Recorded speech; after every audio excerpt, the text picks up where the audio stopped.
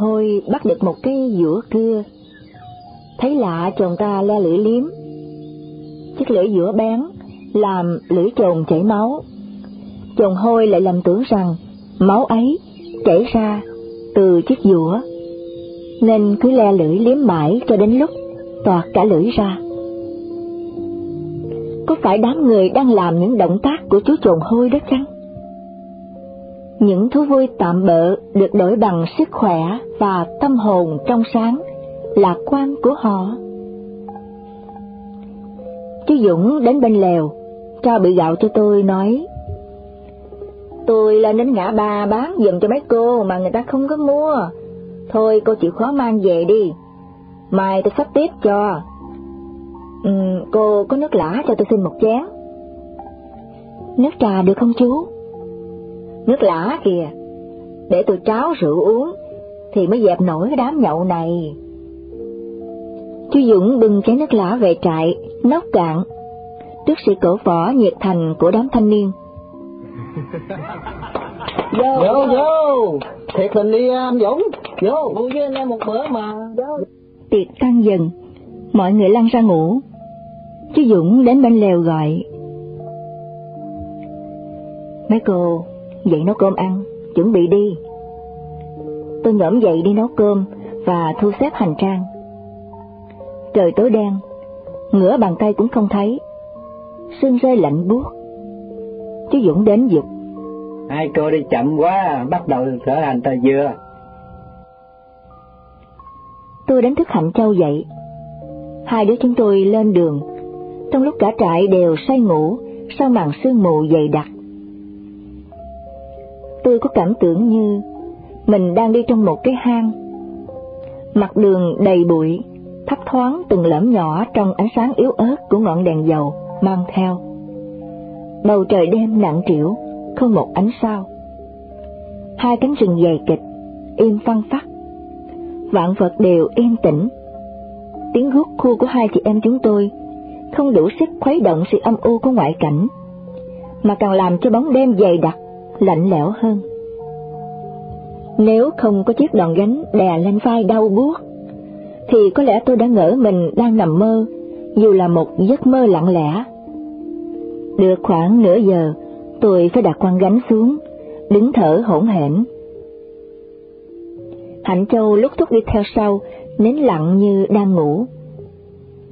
Chúng tôi đổi gánh hành lý và tiếp tục đi. Mồ hôi ra đẫm ướt lưng áo, nhưng tay chân mặt mũi đứa nào cũng lạnh tái tê vì mù sương. Trại Bình Sơn và Bầu Cạn hiện ra bên những đống lửa chập chờn giống như những gian sơn của các bà phụ thủy ăn thịt người. Vài người cất tiếng quát hỏi, nhưng chúng tôi vẫn im lặng tiếp tục đi. Đến nhà thương nghiệp thì trời đã rạng sáng. Chúng tôi cố gắng đi theo một trăm thước nữa, cho khuất mắt con người. Đặt hành lý bên vệ đường, ngồi bệ xuống, thở lấy thở để. Tôi và Hạnh Châu đang ở trên đầu một con dốc đầy bụi trước mặt là một vùng thung lũng. Bình nguyên, nằm im lìm trong màn sương trắng xóa. Khung trời bình minh, đỏ hồng. Vài mươi mái tranh hiện mờ ảo, sau các cụm cây rừng, quyện đầy sương trắng. Hạnh Châu đã gục đầu vào gối, ngủ thiếp đi. Tôi cũng ngã lưng vào túi hành lý, và ước ao được ngủ một giấc cuối cùng trong khung cảnh thơ mộng này còn hơn là lê đôi chân đau buốt, lội thêm mười mấy cây số nữa. Bà Bảy và Việt đã đuổi kịp chúng tôi. Hai người bạn tốt bụng này đòi tiếp tục lên đường. Nhưng tôi từ chối, vì không tài nào lê chân nữa. Sau cùng bà Bảy và Việt quẩy dùm hết hành lý, giúp hai đứa chúng tôi. Tôi xách hai giỏ đồ nhẹ, Hạnh Châu thì gần như đi tay không, nhưng chúng tôi vẫn bị tụt về phía sau. Đi khoảng ba cây số nữa, chú Dũng đuổi kịp chúng tôi, đưa tay sắp dùm túi gạo. Tôi và Hạnh Châu khập khểnh đi theo trên con đường đầy nắng mai rực rỡ. Sương mù đã tan, nhưng hai chị em chúng tôi cũng không khá gì hơn. Chúng tôi mệt đến nỗi không còn lấy một nụ cười. Bà Bảy và Việt đi tiếp đằng xa, mà hai chúng tôi vẫn còn leo những đôi chân lết bết một cách khổ sở. Sau cùng tôi rủ Hạnh Châu ngồi xuống nghỉ mệt, chờ thời vận, bằng cái lý cùng tắt biến của lão tử. Nhà hiền triết Đông Phương này đã không nói dối. Một chiếc xe máy cày kéo cái rờ mọt đầy người chạy đến. Chúng tôi hớn hở leo lên xe. Gương mặt của Hạnh Châu còn hân hoan hơn là vần hồng mới ló dạng dưới thung lũng kia nữa. Người tài xế đòi hành khách quá gian phải trả mỗi người mười đồng. Ai nấy cũng cào nhào. Riêng tôi sẽ bằng lòng trả hết số tiền còn lại trong túi áo cho ông ta. Hoan hô khoa học, hoan hô người phát minh ra động cơ nổ, hoan hô xe máy cày, hoan hô, hoan hô.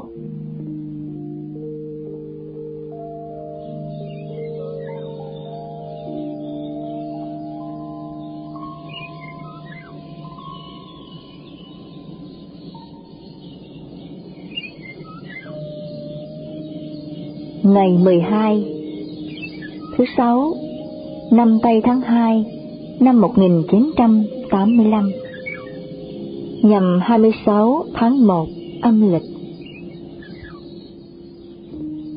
Chúng tôi gặp chú Dũng ở bờ sông bên kia. Trên đầu một con dốc cao, Cạnh tòa nhà chỉ huy Lâm Trường. Chú vui vẻ trao số tiền bán gạo cho tôi, Báo tin. Bữa nay có hai chuyến xe đưa dân công lên, một là của thị trấn, một của Long An. Hai cô kiếm chỗ đục nắng đi, mọi ngày nay mình cũng thế nào cũng về đến nhà.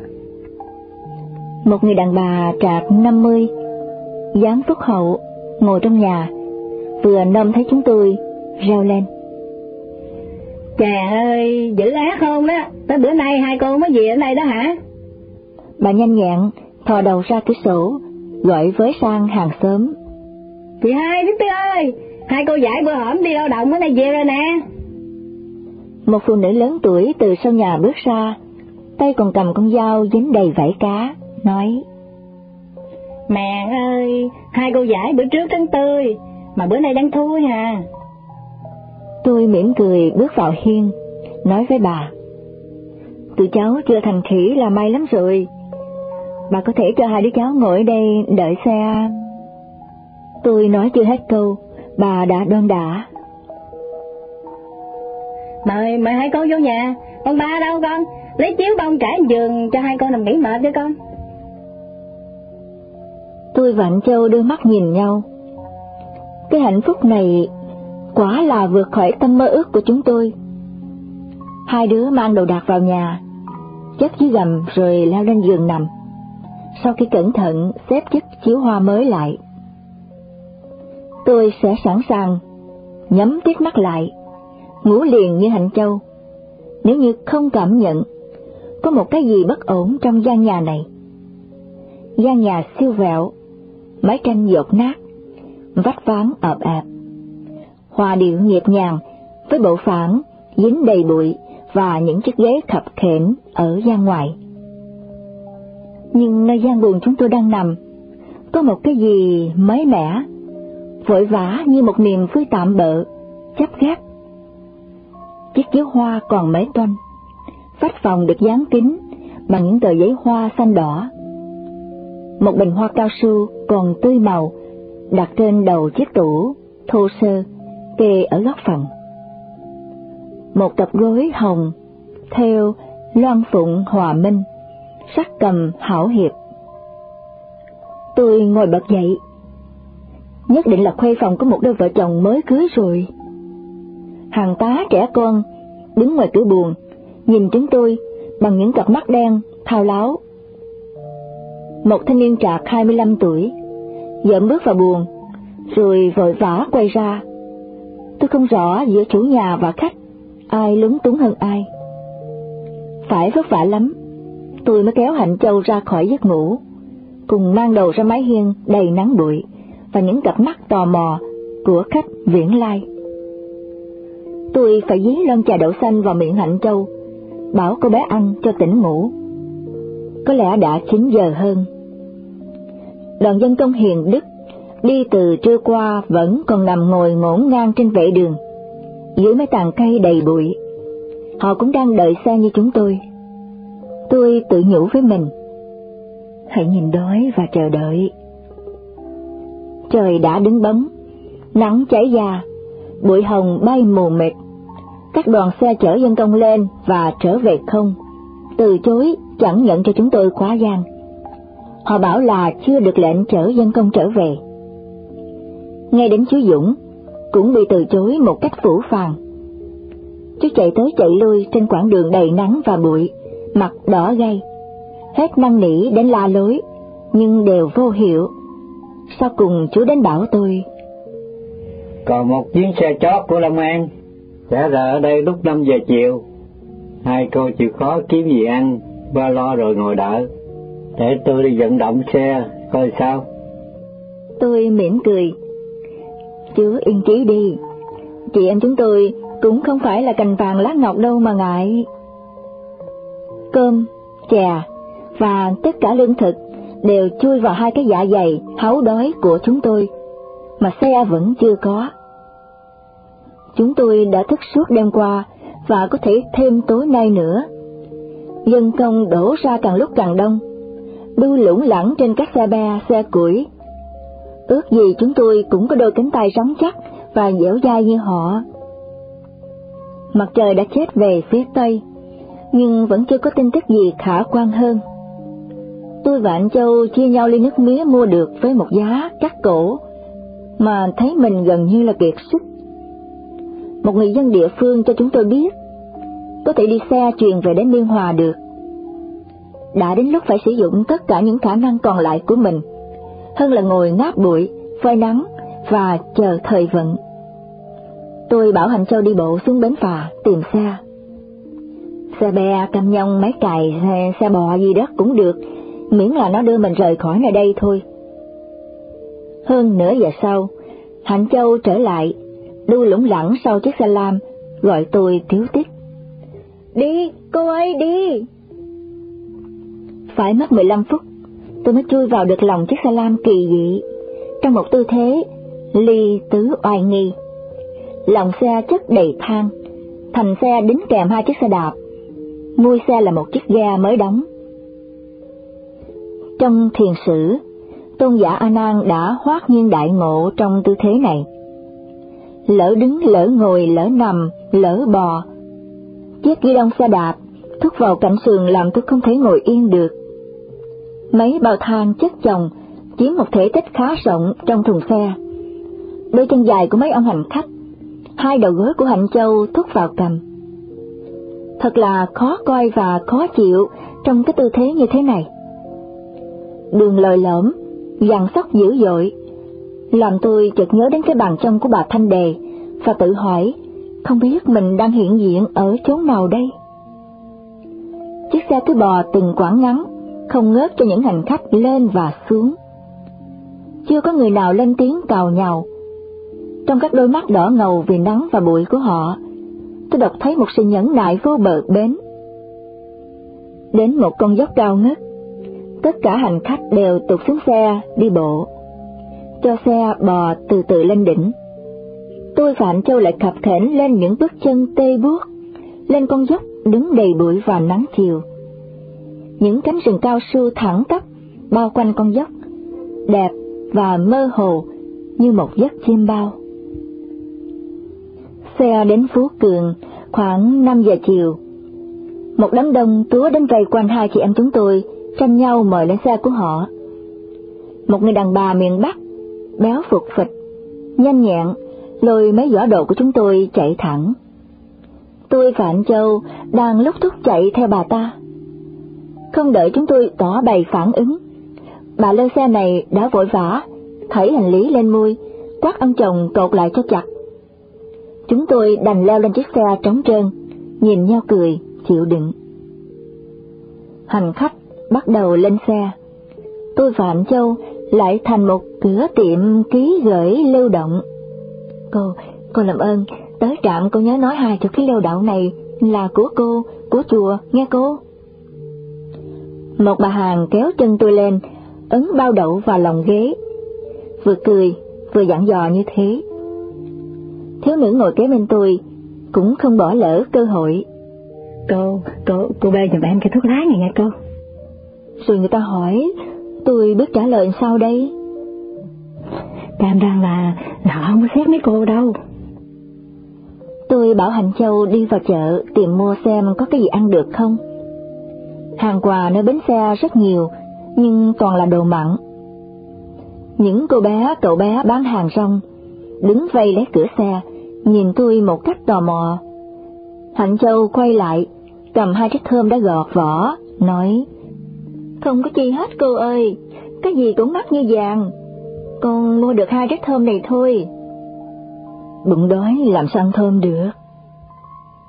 Chúng tôi cùng tiêu nghỉu, nhét hai trái thơm vào giỏ. Hành khách trên xe đa số là bạn hàng bắt đầu hỏi thăm chúng tôi. Tôi và anh Châu ngỡ ngàng nhìn nhau. Thật lâu mới nghe lại cái thứ ngôn ngữ bình thường của con người. Những người đàn ông trên xe đều nói chuyện một cách lịch sự, dịu dàng và từ tốn. Hóa ra, ngôn ngữ của loài người cũng giống như con rắn mối, thích hợp với từng hoàn cảnh. Ở chúng này, họ là những người cha, người anh, người chú, gương mẫu. Nhưng đến nơi khác, họ lại thể hiện con người đích thực của riêng họ. Nhưng đâu là chân diện mục của mỗi người chúng sinh sau những cái mặt nạ sơn phết xanh vàng trắng đỏ như thế? Tôi không thể giấu được sự thú vị khi nhìn gương mặt vui tươi của Hạnh Châu cau lại. Cô bé vừa nôm thấy một bóng anh chàng dân công nào đó, thấp thoáng ở bến xe. Chỉ cần một anh dân công leo lên chiếc xe này thôi, là cả rừng núi Vĩnh An sẽ hiện về với mùa sương nắng rám, cùng những âm thanh cuồng nộ của nó. Trong kinh Duy Ma Cực có kể rằng, một vị Bồ Tát có thể mang thế giới này lồng vào thế giới khác, mà hai thế giới mới và cũ vẫn bao dung nhau một cách toàn vẹn. Con người phàm phu tục tử nào cũng có thể có được cái khả năng thần thông đó. Chẳng hạn như ngay cái bến xe ồn ào này, tôi và Hạnh Châu có thể mang cả cánh rừng Vĩnh An cùng vô số người vật phụ tùng vào đây mà không sợ hủy diệt ngoại giới. Đó há chẳng phải là một khả năng kỳ diệu của loài người. Một sinh vật lưỡng thê, nửa sống trong thế giới hiện thực, nửa sống trong thế giới tâm tưởng hay sao? Duy có một điều khác nhau giữa Bồ Tát và chúng sanh là các bậc giác ngộ, hiểu rõ mình đang thi triển thần thông. Thế giới tâm tưởng là một thế giới hoàn toàn hư huyễn, không thực. Trong khi các chúng sinh phàm phu thì lại lấy mộng làm thực, nên chỉ cần một bóng ma của quá khứ hiện về là cả bầu trời hiện tại sẽ bị ố màu ngay. Cái câu mày của Hạnh Châu là một bằng chứng hùng hồn cho điều đó. Ngay đến những người trên xe cũng thế, ồn ào nói chuyện, nhưng mỗi người đều nói về những điều đang làm say sức bận lòng họ. Dường như không có ai thấy hay nói đến khung cảnh hiện thực. Nắng chiều sắp tắt, mặt trời đang hối hả gửi lại trần gian các tia sáng huy hoàng như một lời chào tạm biệt tốt lành. Xe khởi hành, tôi và Hạnh Châu được doanh vây bởi những bao bị, đậu nành, đậu phộng, thuốc lá và những túm lớn túm nhỏ lĩnh kỉnh. Thứ nào cũng được dặn là mua về cho chùa xài hết. Xe đổ tại bến Tam Hiệp. Chúng tôi đi xe lam sang ngã ba Vũng Tàu thì trời đã tối. Bộ dạng chúng tôi thiểu não đến nỗi không có ông lơ nào thèm để ý mời mọc cả. Tôi và Hạnh Châu, người nào cũng mặc đến hai chiếc áo vạt khách nón lá rách te tua, y phục đầy bụi đường, hành lý thì lỗng củng những lon chai bao bì. Sau cùng, chúng tôi cũng về được đến Phước Thái, bằng cách đứng đu đưa có một chân rưỡi, sau chiếc bửng xe tanh rình mùi cá biển. Còn hai cây số mới đến chùa, vừa đói vừa khát. Tôi rủ Hạnh Châu vào thất sư cô đạo, xin ăn chực và ngủ nhờ một đêm. Đó là đêm đầu tiên sau 12 ngày lang bạc. Tôi đã ngủ thật say, hoàn toàn không mộng mị.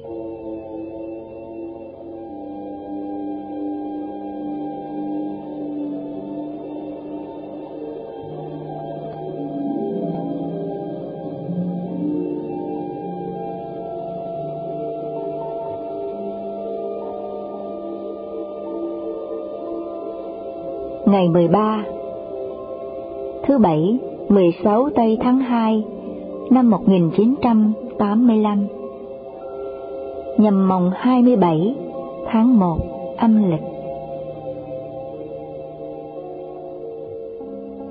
Sau khi ăn một bữa sáng đến căng bụng, chúng tôi thông thả quẩy hành lý về chùa. Hạnh Châu tiếu tiếp. Hồi tối, tối nay là con con vừa ngủ vừa hồi hộp. Ủa, sao vậy? Con cứ sợ mình đang nằm chim bao, rủi mở mắt ra, ừ, thấy còn ở Vĩnh An, ừ, ừ, chắc con khóc quá à. Con đường dài nào rồi cũng có cuối điểm. Dàn hoa giấy đơn sơ của viên chiếu hiện ra, tươi mát và rực rỡ trong nắng mai. Ban rẫy đang tưới rau. Hạnh Châu hát lên. Thưa quý cô, em mới về. Giọng hạnh huệ, oan oan. Hồi tối ghé bên Hòa ngủ phải không?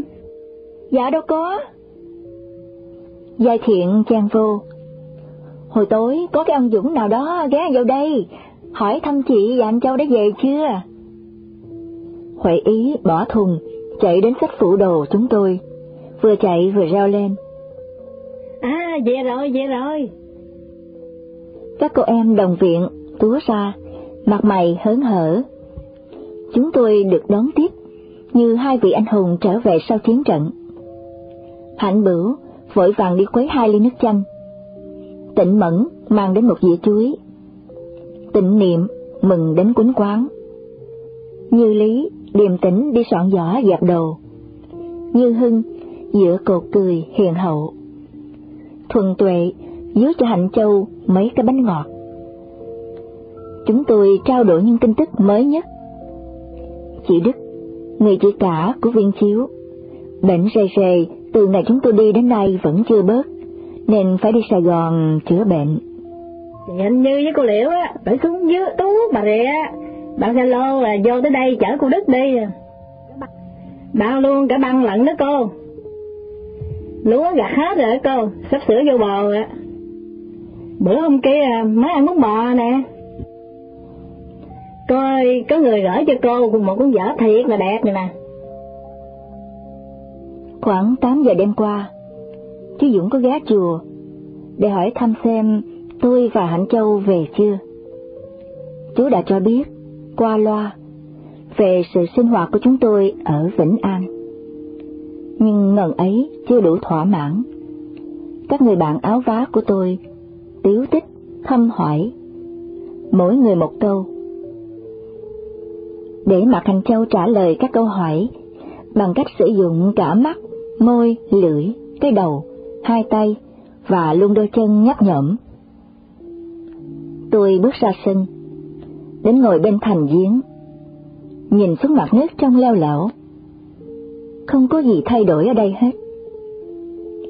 Vẫn khung trời đầy mây quen thuộc mấy sò đậu phụng, cùng những lớp cải xà lách, rau muống xanh mơn mởn, trong nắng mai. Mùa xuân vẫn còn thực tươi trên màu hoa giấy đỏ.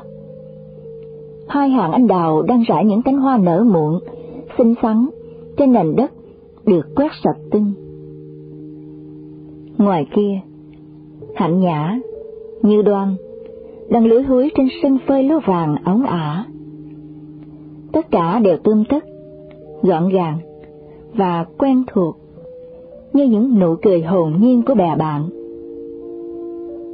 Nhưng tôi chắc chắn rằng tôi và Hạnh Châu đã đổi khác.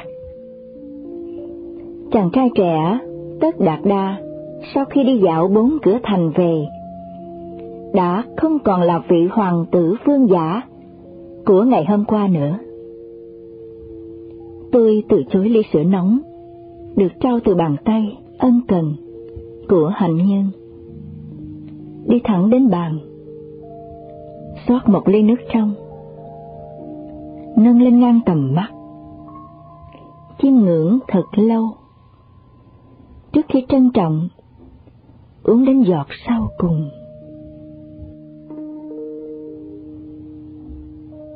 Kính thưa quý vị, bài đọc kinh truyện Phật giáo tập 1 Cõi Bưởi Hồng. Hồi ký của Sư Cô Như Thủy Đến đây là hết.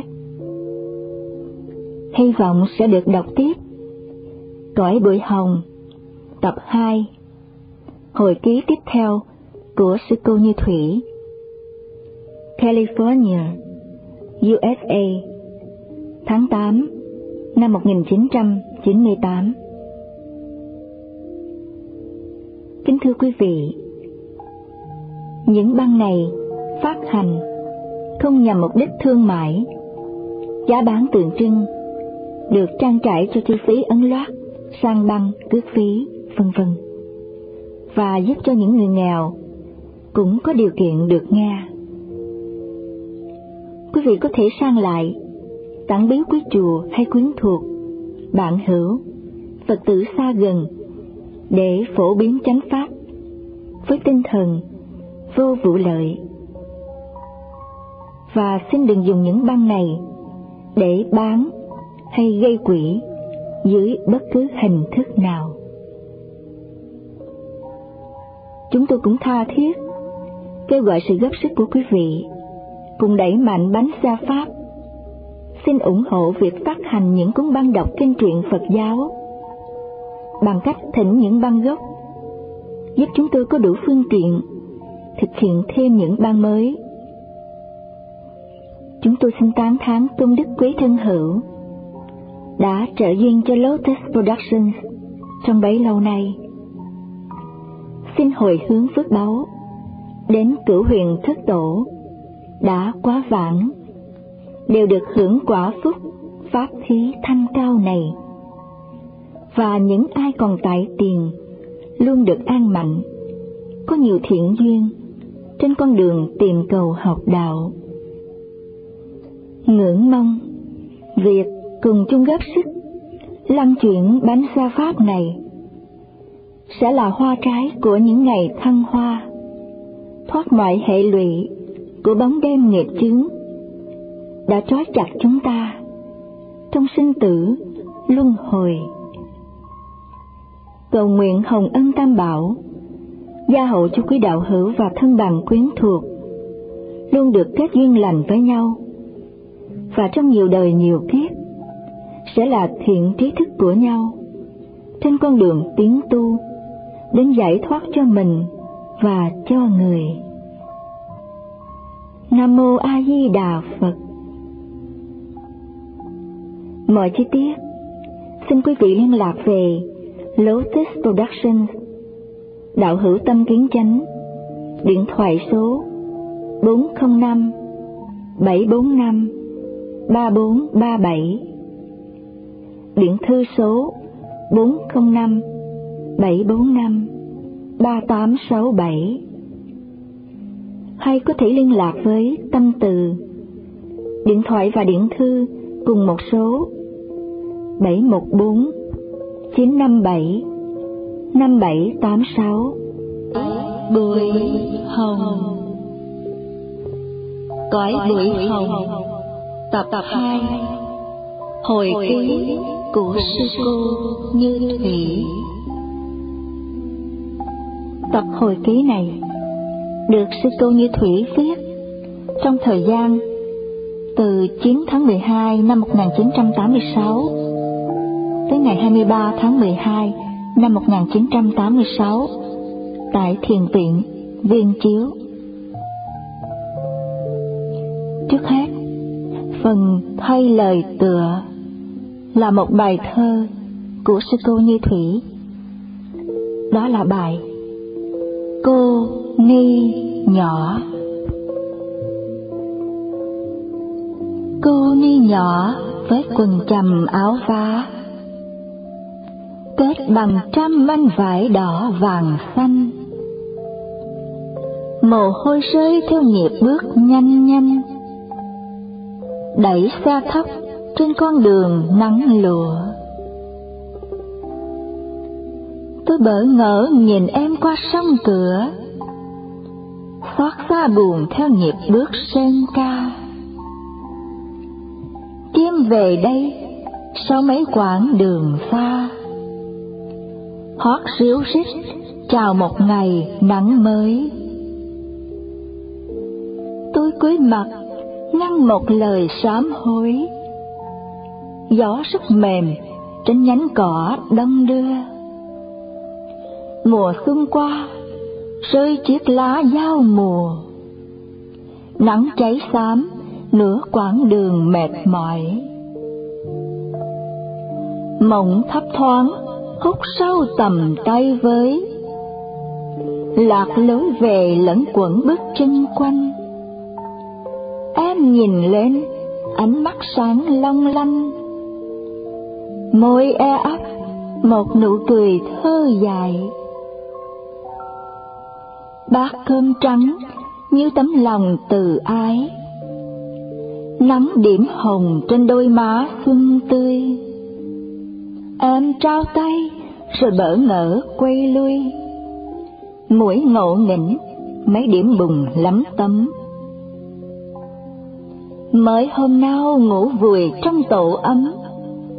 Gót sen hồng, chưa giấy bụi phiêu linh.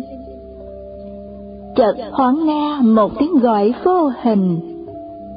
Em chớp mắt, lòng xôn xao mở hồi ngày thế phát dưới đường ngôi rất mới. Tráng tinh anh chưa động một cơn buồn. Đất phù sa vừa uống trận mưa tuôn. Hạt giống cũ nứt một chồi lá mà. Em ngơ ngác trước khung trời mới lạ. Gót trầm hương dọ dẫm đất bùn đen ngước nhìn quanh bằng ánh mắt nhung đen. Tay bối rối như một lời dọ hỏi. tôi chợt thấy dưới đôi mày mệt mỏi, một niềm đau như lá úa trên cây. Trời trong xanh không gợn một màu mây. Em đã đến nhằm một ngày nắng hà nhỏ với quần trầm áo vá, kết bằng trăm manh vải đỏ vàng xanh. Thân mến, tặng những người em áo vá của tôi, thiền viện viên chiếu, ngày 23 tháng 12 năm 1986 Như Thủy.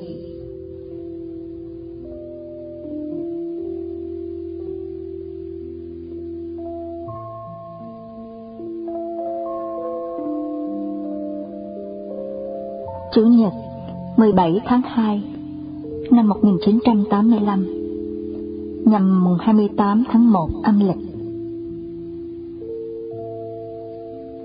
Tôi đang tập thể dục buổi sáng, thì gặp Hạnh Nhã ôm kè kè một chồng giấy tờ qua, đứng nhắc nhởm bên hiên nhà khách, nhăn nhó.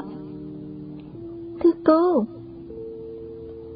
tôi ngừng tay hỏi, giấy tờ gì mà giữ thần vậy nhỏ? Thưa cô, giấy đăng ký lao động đợt hai cho cả tổ của mình, giấy khai bệnh hoạn và gia đình neo đơn của dân đơn xin làm công tác tại xã cho diện... Ừ, tổ mình kỳ này đi mấy người? Có ai đâu cô? Thằng Hùng đi thành phố chưa về. Chú Tài thì có vợ sắp sinh. Nhà ông Kiệu neo đơn. Chú Bạch á, thì nằm bệnh viện. Thiếm Phú mới mổ năm rồi, thiếm ba thì đang sốt rét. Ừ, tính đi tính lại, bà con trong tổ chỉ có chùa mình á là thành phần cốt cán thôi hà. Cái đơn ông Dũng bày mình đi xin đi tới đâu rồi? Mới đi theo em tới nhà chú ba chết, em thấy khó mở miệng quá à, ừ, nên đem về luôn. Sao vậy? Ừ, thì trong buổi họp tối hôm qua, chính em nè đọc thông cáo dùm cho chú chứ ai. Nghĩa vụ lao động không có trường hợp miễn giảm nào hết trơn á. Mình nó lại thuộc thành phần son rủi.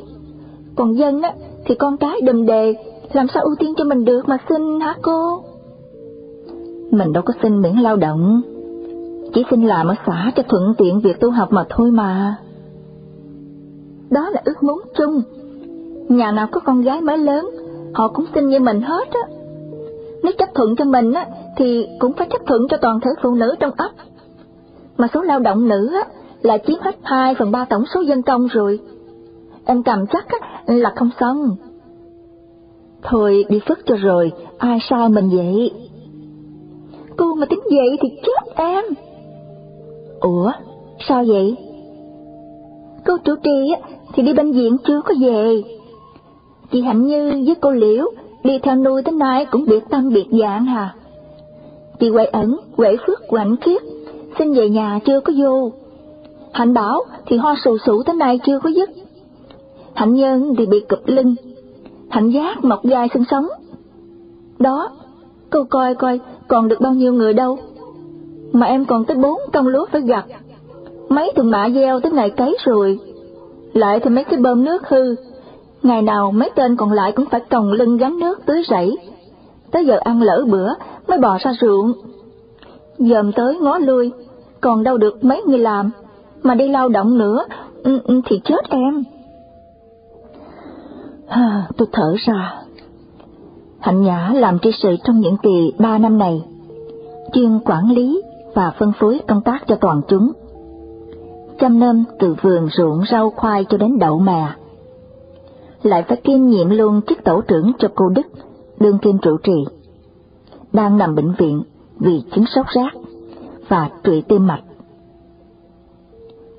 Chúng tôi đã sinh hoạt và làm việc bên nhau theo một hệ thống dây chuyền. Ngày nào cũng bao nhiêu đó công việc. Những năm trứng mùa thì còn hơi sẵn sàng Nhưng gặp phải lúc thất bại như năm rồi thì đành phải làm không kịp ngáp. Một người đi vắng hay bệnh thì cả gánh nặng được chất lên vai người còn lại. Tôi thì chỉ làm thủ quỹ thôi, giữ tiền dùm tập thể. Và thầy giáo dạy bổ túc giáo lý cho mấy cô em. Mà nay cũng phải đối đầu luôn những công việc hoàn toàn không có ghi trong các quyển kinh, chữ Hán lẫn chữ Việt. Hạnh Nhã thúc. Tính sao hả cô? Chiều mai em phải nộp danh sách rồi. Mình không đi được không? Ý không được đâu cô, không đi thì phải đóng tiền. Cô phải để dành tiền cho em cày đất độc phòng, mua phân tro, chuẩn bị chứ. Mùa mưa sắp tới rồi. Ừ, vậy thì đi. Ừ, rồi ai ở nhà cái lúa, gặt lúa. Tôi đưa tay mân mê cái vành tay. Hạnh giác, cô thợ may mới vào nghề của chúng tôi. Từ bằng máy may bên tăng đường, cất giọng đồng tháp nhão nhạt, nói vọng qua. Con Nhã ơi, em kiếm ra được cái tấm phim chợt sinh sống bị mọc gai của em rồi. Phim không chưa có đủ, phải có lời đề nghị của bác sĩ ghi rõ là miễn lao động nặng mới được.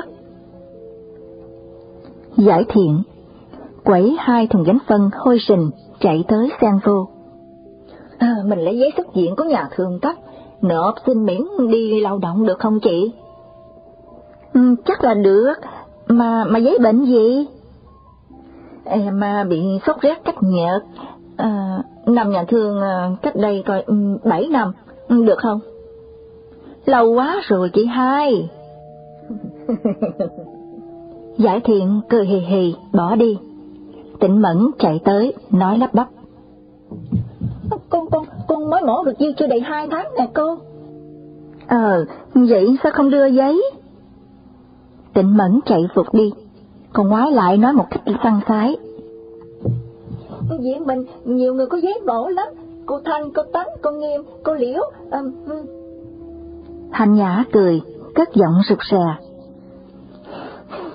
Hay là mình nhờ người quen xin thêm vài cái giấy nữa cô? Tôi nhìn Thanh Nhã mỉm cười, vì thấy hai tư tưởng lớn đã gặp nhau. Chính tôi cũng vừa thoáng nghĩ đến điều đó. Phải nâng sĩ số được miễn giảm lên con số tối thiểu là 20 người. Nhưng vấn đề này phải suy xét lại. Đành rằng chúng tôi không được phép nói dối. Nhưng nói đại một câu, chả hại gì cho ai, mà còn đem lợi lộc chung thì cũng nên nói. Sự kiện đó không được coi là phạm giới, mà thường được gọi là quyền phương tiện thiện xảo. Một phương tiện xấu có thể nào đem đến kết quả tốt không nhỉ? Điều này có thể không phải là một nỗi bận tâm lớn của nhiều người, nhưng trong lĩnh vực nhà tu, nhất là các nhà tu lao trao cỡ bọn chúng tôi, nó gây không ít băn khoăn. Thiền sĩ Trung Hoa có ghi câu chuyện của Ngài Đạo Giai 1043 tới 1118, một cao tăng vào thời nhà Tống. Sư làm trụ trì chùa Thiên Minh, đạo hạnh cao phúc, lời đồng đãi lan đến tận kinh kỳ.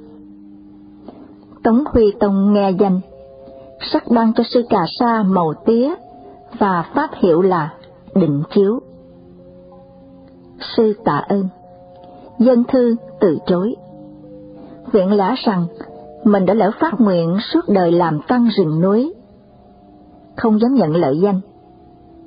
Chỉ xin trọn đời hành đạo để đáp báo thiên ân. Vua cho người đến khuyên sư nhiều lần, nhưng không được. Nổi giận, phép sư vào tội thi quân ra lệnh cho quan hữu ti tra khảo. Quan nhờ người thân tín báo tin cho sư biết trước rằng những người già yếu bệnh hoạn sẽ được miễn hình phạt và vời sư đến nha lại. Đến ngày hạn, quan hữu ti hỏi, Hòa thượng trông gậy yêu quá, có mắc bệnh gì không? Thường nhật bần đạo cũng có bệnh, nhưng hôm nay thì không. Theo pháp nước, thì những người bị bệnh sẽ được ân giảm. Hòa thượng bị bệnh gì? Bần đạo thật tình hôm nay không có bệnh. quan đành phải truyền lệnh gia hình. Sư định nhiên thọ lãnh. Sau đó, sư bị án lưu đày phải khoác áo tù đi nơi khác. Hơn một năm sau mới được tự do. Sư về tức an tại hồ Phù Dung, sống rất đạm bạc, nhưng lúc nào cũng có hàng trăm tăng chúng bên vây. Sư và môn đệ không bao giờ đi phó trai, cũng không giao thiệp với hàng công khanh quyền quý. Lương thực của chùa chỉ trông cậy vào số hoa màu tự trồng tỉa lấy số thu hoạch hàng năm được chia đều ra thành 360 phần, mỗi phần dùng cho một ngày trong năm. Lỡ có khách đến bất thường, nhà bếp chỉ được phép thêm nước, chứ không thêm gạo. Thầy trò cùng nhau ăn cháo qua ngày là chuyện thường. Vậy mà, học phong cao ngất, hàng môn đệ có bản lãnh ăn đứt mọi nơi thiền sử còn ghi lại một bài kệ đón tiếp học đồ của sư như thế này. Sơn đồng thoát lật phạm, giả thái đạm hoàng tê, khiết tức tùng quân khiết, bất khiết nhậm đông tê. Tạm dịch Dưa muối lạc với rau đồng, bát cơm hạt dẻ mời ông qua ngày. Có ăn thì ngồi xuống đây, không ăn xin thỉnh sư thầy đi cho. Thuở nhỏ, Khi nghe giai thoại trên, tôi thường ngẫm nghĩ, không hiểu vì sao Ngài Đạo Giai không chịu nói dối đại một câu, để tránh khổ hình và án đầy biệt xứ. Tội chi mà phải chấp hành mệnh lệnh ngông cuồng của ông vua nọ. Khi không mang đồ tặng người ta, người ta không nhận, lại khép tội thi quân, rồi truyền lệnh tra khảo. Với những hạ người như thế, cần gì mà giữ giới luật với họ cho mất công? Nhưng lớn hơn một chút, tôi mới vỡ lẽ ra rằng, giới luật của Phật chế ra, không phải cốt để chinh phục lòng kính trọng hay lợi dưỡng của tha nhân. Như một nhà bác học đang thực hành công cuộc thí nghiệm, tránh xa mọi thú tiêu khiển vô hại của thường nhân, như xem hát, đá banh, hút thuốc. Vì những điều ấy làm phân tán tư tưởng, ảnh hưởng đến công cuộc thí nghiệm của ông ta. Thì một nhà tu cũng thế. Vị tu sĩ Phật giáo phân giữ các giới điều, không vì làm vui lòng Phật, sợ hãi địa ngục, cầu sinh thiên đàng, Mặt cốt để hạn chế tối thiểu những gì có thể làm nguy hại cho việc định tâm và xâm phạm đến quyền lợi chung của cộng đồng chung quanh. Hơn nữa, ta có thể dối người, nhưng không thể dối mình. Một lời nói mâu thuẫn với sự thật sẽ làm tổn thương không ít cho bản tâm trong sáng của hành giả. Các đại sư Phật giáo đều huấn thị hàng môn đệ, nên giữ gìn giới thể, tức là bản tâm ấy. Như thường nhân chăm sóc đôi mắt, không cho dính một mảy bụi là vậy. Có phải đó là lý do khiến thiền sư đạo giai thà nhận hình phạt hơn là nói dối một câu chẳng mất lòng ai chăng? Sư đã xem thường thân mạng, cũng như đã xem thường các bảo bối của triều đình trân trọng ban cho. Bài kệ làm trước khi lìa đời của sư đã minh chứng hùng hồn cho những điều đó.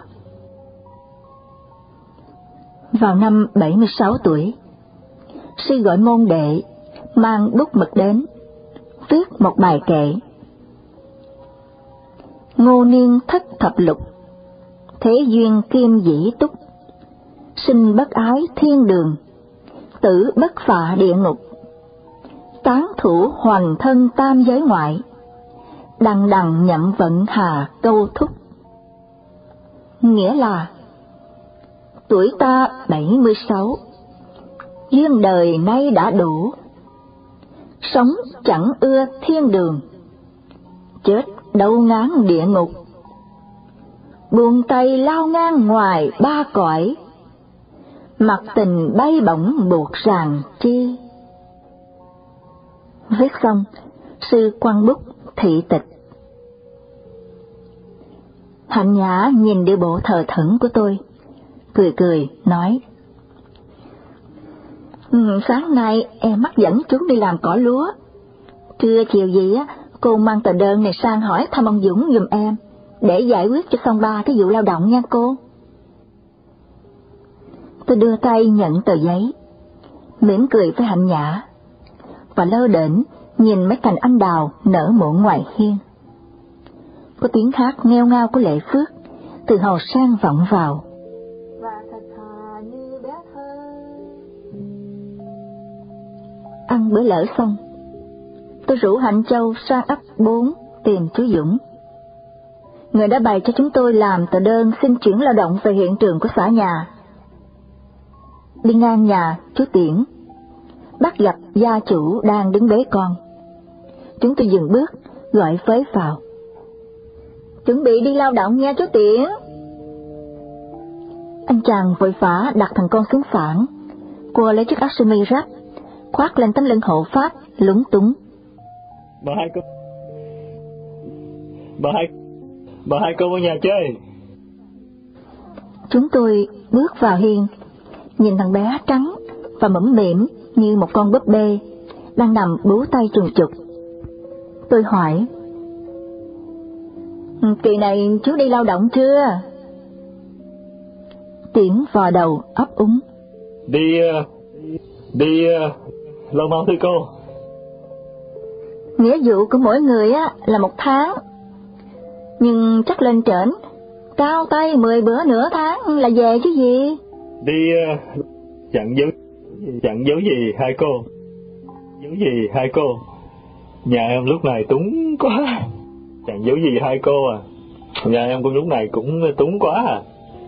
Chẳng biết lấy gì đang đem theo. Bà xã em lại đau rầm rề à. Châu xen vô. Lên trển vài bữa là người ta phát gạo liền hả chú ơi. Gạo còn ngon hơn là gạo ruộng của mình nữa đó. Tiễn cứ đứng vò hoài mái tóc đã rối nùi, nói lý nhí. Dạ, dạ, để em bàn lại với bà xã em coi. Ừ, nếu đi á, chiều chú qua chùa ghi tên sớm sớm một chút, để mấy cô nộp lên ấp, cho kịp nha. Chúng tôi nói vài câu về mùa màng mưa nắng rồi cáo từ. Ra khỏi cổng, Hạnh Châu nhận xét. Kỳ này, dám cũng chỉ có có chùa mình đi thôi đó. Đi hết một con dốc quanh co, chúng tôi sang địa phận của ấp bốn. Đứng ngần ngừ trên con đường cát ngập đầy ánh nắng, tôi băn khoăn. Ừ, biết nhà chú Dũng ở lối nào đây? Gặp ba anh thanh niên vác cuốc đi ngang, tôi hỏi thăm. Mấy chú ơi, mấy chú làm ơn chỉ dùm nhà ông Dũng giùm tôi nha. Dũng nào? Ông Dũng mà làm cán bộ trên xã mình đó, thường dẫn chân trong đi lao động đó chú. Này có nhiều cha nội tên Dũng lắm, cô phải nói rõ hơn mới được. Chú này hình như là người miền Trung. Dân ấp này người Trung hết 99% rồi. Da ngâm ngâm đen, tuổi khoảng 40. Hạnh Châu cãi. Không phải đâu nè cô, bữa mới đi công tác nè con thấy ổng trắng bóc à, bữa về mới đen. Ờ, vậy thì da trắng đã thành đen. Mấy chàng trai nhìn nhau bàn tán. Ai Ai vậy cả? Tôi chợt nhớ thêm mấy chi tiết, vội vã bổ túc. Hình như ổng còn một bà mẹ và có hai ba đứa con gì đó. Một thanh niên reo lên. Ồ, tôi nhớ ra rồi, giả chứ không ai vô đó hết. Hai anh kia đồng thanh. Ai vậy Tư? Anh nội này hình như trước kia đi lính có mấy tháng được lãnh về. Sao ngon vậy? Ông già của người giả đi tập kết. Gạo quá ta. Có gì mà ngộ với lạ. Nghe họ mãn lo cãi nhau, tôi nôn nóng. Vậy, vậy nhà của ổng ở đâu hả chú? Bốc trong kia kìa, khó tìm lắm. Mà có kiếm giả làm chi vậy? Ừ, tôi hỏi thăm ba cái chuyện lao động đó mà. Cô qua khỏi khúc quẹo này nè, rồi đi miết, bỏ một cái quán, một khu vườn mít, rồi tới cái nhà tranh nằm ở bên tay mặt á, đó là, đó là nhà của bà già giả đó. Cô tới đó biểu con trả dẫn về chắc ăn hơn. Theo lời chỉ dẫn, chúng tôi tìm ra căn nhà tranh lụp xụp. Một chú bé, khoảng 8 tuổi, đang ngồi sắc khoai ngoài hiên. Mặt mũi sáng sủa, có khá nhiều nét giống chú Dũng. Chúng tôi vào nhà, chào bà cụ, hỏi thăm bân quơ vài câu, rồi nhờ thằng bé dẫn đường. Chú bé nhảy chân sáo trên đường, gặp con chó nào cũng đưa nắm tay lên dọa. Đi được một quãng, nó reo lên. Ba ơi ba, có ai kiếm ba nè. Thấy chúng tôi, chú Dũng vội băng qua đường, vòng vã hỏi. Cái đơn xong chưa cô? "Ừ, Tụi tôi viết rồi, nhưng không biết phải đưa cho ai. Cô cứ lấy chữ ký của ấp. Xong rồi cầm đến xã. Chiều nay có cuộc họp ở trên. Tôi sẽ đề nghị duyệt ký đơn cho mấy cô. Tôi, tôi ngó không có ổn chú ơi. Ừ, chú bà trưởng ấp, có đưa cho tụi tôi coi tờ nghị quyết của nhà nước. Trường hợp của chúng tôi không có nằm ở trong cái diện ưu tiên. Đây không phải là chuyện ưu tiên, phải sắp xếp công việc cho hợp lý chứ. Phá rừng, đào giếng, mà chỉ đưa toàn là phụ nữ lên, làm chẳng tới đâu, còn mắc công tụi tôi phải canh gác nữa. Tôi đang đề nghị cho cánh phụ nữ làm công tác tại xã hết, đội công thanh niên, trai trắng lên trên đó nữa. Chú bà nói xã và ấp không có quyền trưng dụng công lao động của chị An. Mấy ông ở nhà cứ căn cứ vào giấy tờ không? Chúng tôi ở hiện trường mới nắm rõ ưu và khuyết điểm. Nói thiệt á, kỳ này mà ấp hai đưa mấy cô lên trên, tôi sẽ ký giấy tờ trả về hết. Cô cứ làm theo lời tôi đi. Chúng tôi chào chú rồi ra về. Buổi tối, trước giờ tỉnh tọa, Hành Nhã lại cầm tờ đơn sang nhà khách nhăn nhó. Hỏng xong rồi cô ơi. Cái gì hỏng? Lúa mạ, đậu mè, hay xôi khê, bánh khác? Hành Nhã bật cười. Chú ba không có chấp nhận tờ đơn của mình, vì nói trái với tinh thần nghị quyết. Nhã có năn nỉ chưa? Đâu phải chú làm khó mình mà năn nỉ cô. Em có đọc tờ giấy đó. Rõ ràng là xã và ấp không có được trưng dụng công nghĩa vụ lao động. Chà, kẹt dữ ha. Em vô gặp chú đang ăn cơm. Nói tiếng ăn cơm mà chỉ thấy khoai độn không à. Thiếm bà, thiếm thang là chú đang trở bệnh mà đêm nào cũng đi công tác với gần sáng mới về. Ban ngày á thì lớp trên xã thúc khối điều động dân công, lớp đó thì bà con chung quanh tới kỳ kèo này nỉ hoài. Em đứng chàng rạng chút, viết giùm chú mấy cái tấm danh sách, rồi về, chứ không nói thêm được câu nào về chuyện của mình hết á. Nghe hình nhã nói, tôi chợt hình dung đến bóng dáng phúc hậu, lam lũ của thím ba, mà mỉm cười. Lần đầu tiên mới gặp chú, nhìn nước da trắng xanh, cùng dáng điệu nho nhã của chú, tôi đã liên tưởng đến một giáo sư đại học, hoặc một nhà ngoại giao cao cấp. Vậy mà, chú lại thuộc hàng con nhà nông dân chính hiệu. Sau 30 năm tập kết ra Bắc, chú hồi hương, với chứng đau bao tử kinh niên, và bầu nhiệt huyết chưa hề vơi vì tuổi tác và bệnh tật. Người đảng viên Cộng sản đó đã chinh phục bà con trong ấp bằng tác phong độc đáo của mình. Chú không hề tham dự một tiệc rượu nào, hay bữa ăn nhậu nào ở nhà dân chúng. Sống thanh đạm, không thua một nhà tu khổ hạnh. Sốt sắng, dốc hết tâm lực vào công tác chung. Niềm vui của chú là chăm chút mảnh đất hương hỏa cằn cỗi và chơi đùa với bé Phượng, cô cháu nội cưng của chú với các thanh niên tóc dài la lết ngoài các quán nhậu và sòng bài. Chú sẵn sàng khoát ra lửa.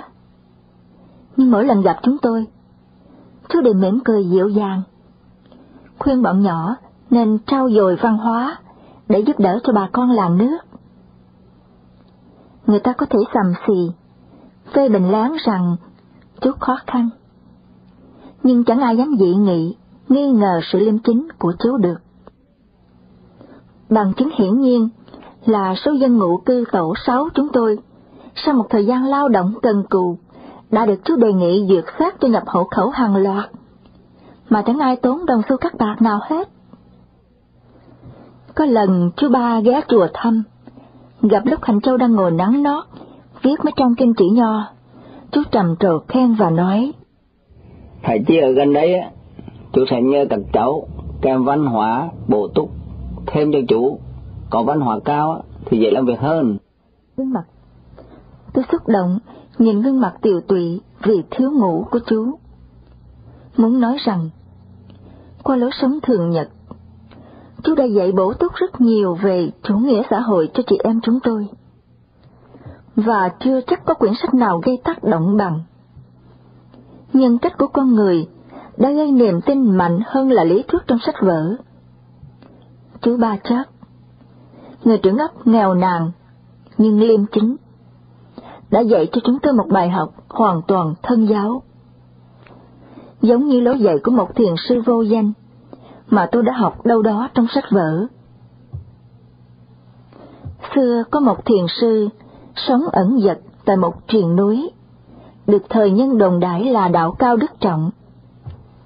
Hôm nọ, có một bà lão dắt con theo, tìm đến gặp nhà sư. Bà mẹ thưa, chẳng giấu gì thầy, thằng bé nhà tôi á, mắc phải cái tật ưa ăn ngọt. Vì vậy mà mỗi ngày nó rõ ràng tiều tụy ra. Tôi đã chữa trị đủ cách, mà nó những chứng nào tật nấy hà. Người ta bắt tôi đến đây tìm thầy, xin thầy chữa dùm cho cháu kéo tội. Nhà sư trầm ngâm dây lâu, nói, Bà hãy dắt nó về. Nửa tháng sau, dắt cháu lại đây, tôi sẽ có cách. Bà lão y lời. Đến ngày hạn, nhà sư chỉ nói với chú bé một câu đơn giản. Đó là một thói quen có hại, con nên tập bỏ dần dần, mỗi ngày ăn bớt một ít. Bà mẹ nghe xong bất bình, tưởng thầy có phương thuốc gì hay ho, té ra chỉ có bấy nhiêu lời. Sao bữa trước thầy không làm ơn nói dùm, mà còn hẹn tới bữa nay? Đường xá xa xôi biết là bao cơ khổ. Nhà sư thủng thẳng nói, chẳng giấu gì bà, tôi cũng mắc phải cái tật giống cậu em này. Làm sao tôi có thể mở miệng khuyên người ta một điều mà tôi chưa thực hiện được?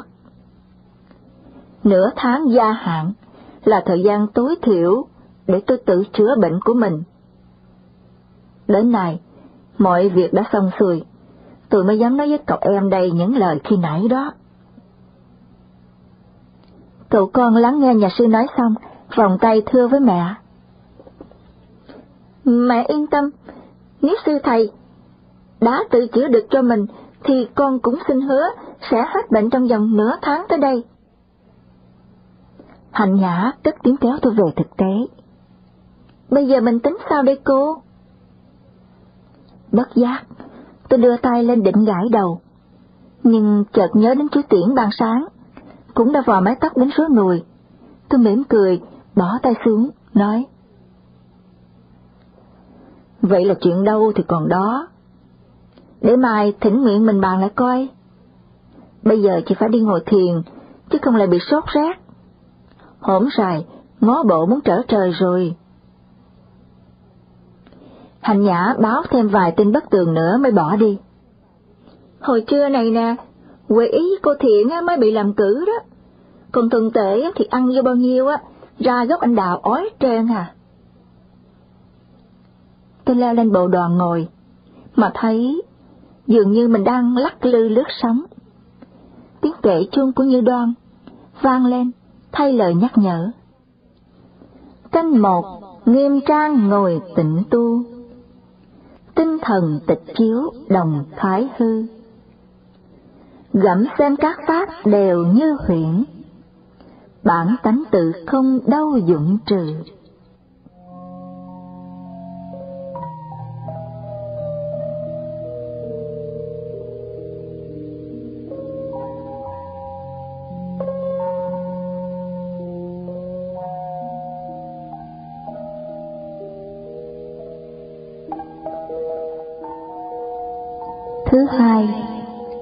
18 tháng 2 năm 1985 nhằm mùng 29 tháng Giêng âm lịch. Tôi bắt đầu ăn sáng khi đại chúng đã đi làm công tác. Hạnh Nhã tìm tôi nói, Em tính bữa nay, thỉnh nguyện sáng, mà còn kẹt xịt thuốc cho ruộng, để chiều nha cô. Tôi gật đầu với cọng sao đang nhai lúng búng trong miệng. Hạnh bửu, tri khố tháng này, có phận sự chăm nom kho lương thực, lo đồ ăn lỡ bữa và sắp thực đơn mỗi ngày cho nhà bếp. Chạy ra tiểu trai đường, tay còn cầm cái vá múc canh bốc hơi nghi ngút. Tưởng đâu thỉnh nguyện buổi sáng chứ, nên à, đâu có chuẩn bị đồ ăn lỡ bữa đâu cô.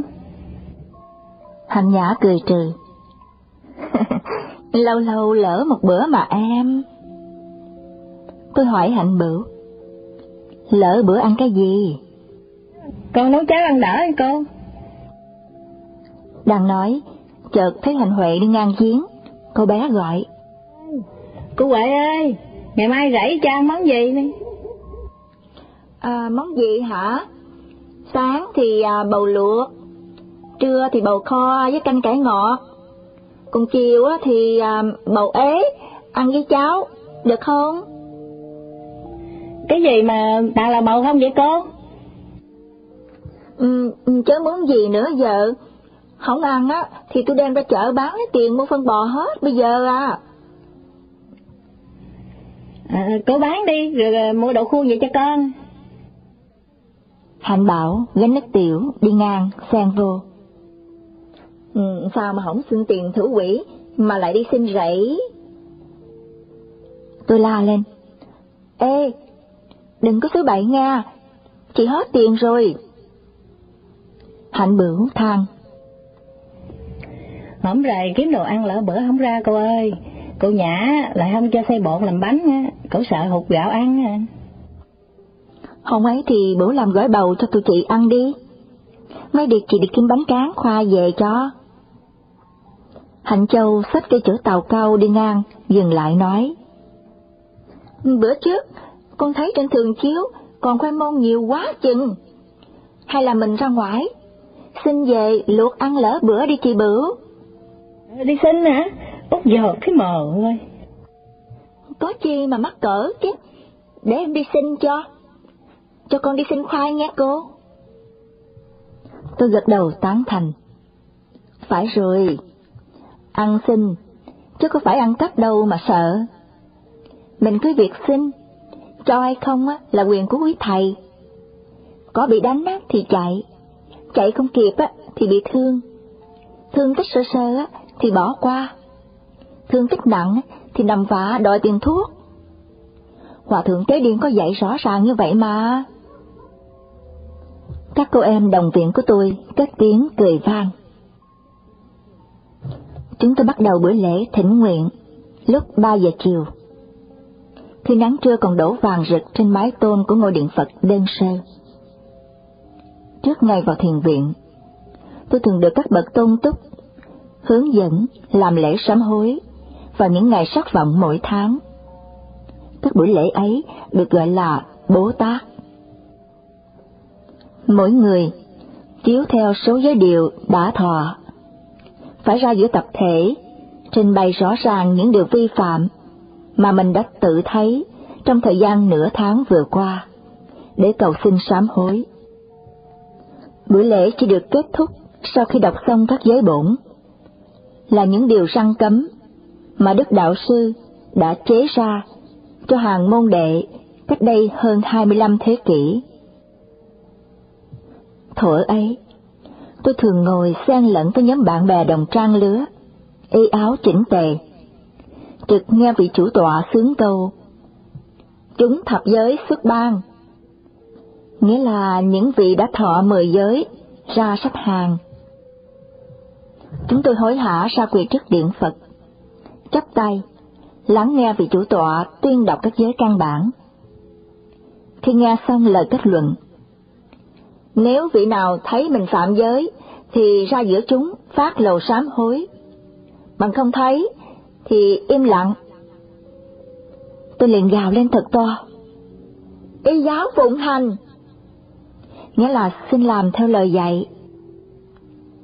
Sau ba câu, y giáo phụng hành, rõ to như thế. Chúng tôi lễ tạ, rồi lui về chỗ đã được chỉ định trước. EA tụng lại luật sa di, tỳ ni, 24 oai nghi, cùng bài văn cảnh sách của Ngài Quy Sơn. Vào thiền viện, lễ Bố Tát được đổi thành thỉnh nguyện. Có một quy ước chung cho tất cả thiền sinh lớn nhỏ, bất kể giới bậc, gọi là thanh quy. Bản quy ước này gồm 10 giới cấm của luật sa di và hơn 10 điều phụ. quy định những việc có liên quan đến nét sinh hoạt của tập thể, cùng sự tương giao với môi trường chung quanh, như cách giao tiếp với cách vãng lai, hàng xóm, tăng tục, tu học, lao động, vân vân. Buổi lễ được gọi là thỉnh nguyện, vì chiếu theo nội quy đã tuyên đọc. Mỗi người lần lượt theo thứ tự lớn nhỏ, tự kiểm điểm lấy hành vi của mình trong thời gian qua. Nếu thấy có vi phạm những điều vừa đọc, đương sự phải ra quỳ trước bàn Phật, giữa bạn bè đoan vây, trình bày rõ ràng lỗi lầm của mình và cầu xin mọi người nhắc nhở dùm cho những điều sai trái đã lỡ quên. Đáp lại lời thỉnh cầu đó, ai cũng nguyện chỉ lỗi cho đương sự, kể cả người sơ cơ. Nếu ai thấy, nghe, đồn đãi hoặc nghi ngờ, thì cứ việc nói ra, để cho đương sự hay mà giữ săn việc trước, lành già thân sau. Những vị không nhớ lỗi, thì cứ ngồi tại chỗ, chắp tay, xin bạn bè nhắc nhở dùm.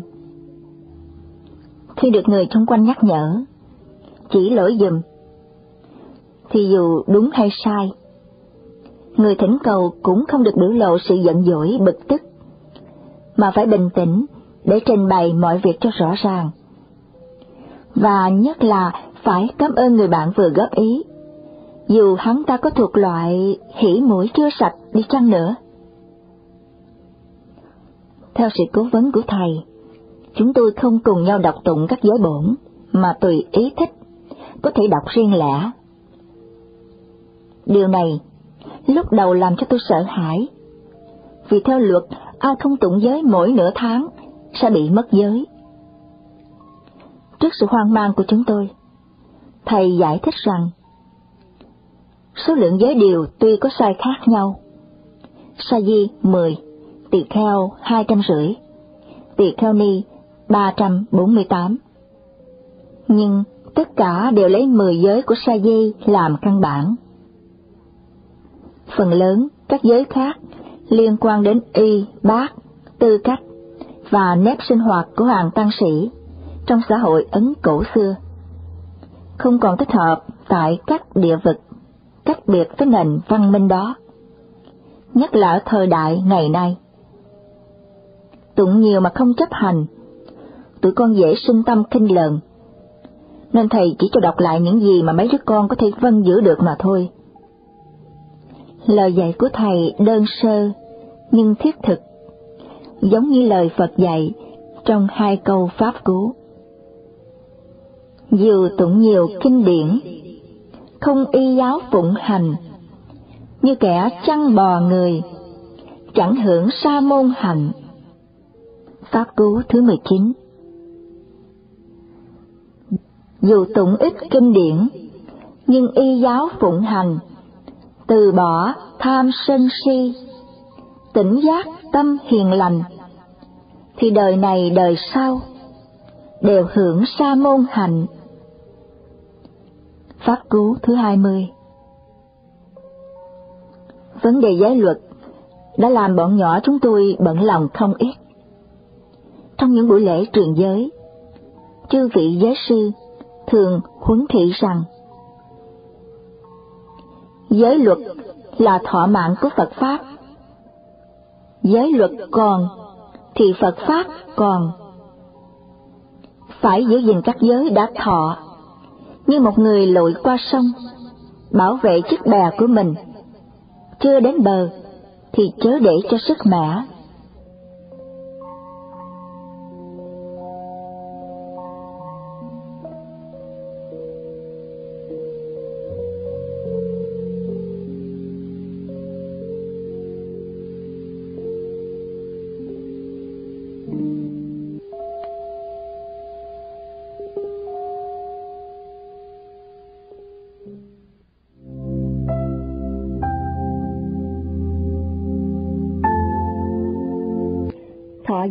xoa, đánh dấu giai đoạn sắp sửa thành người lớn.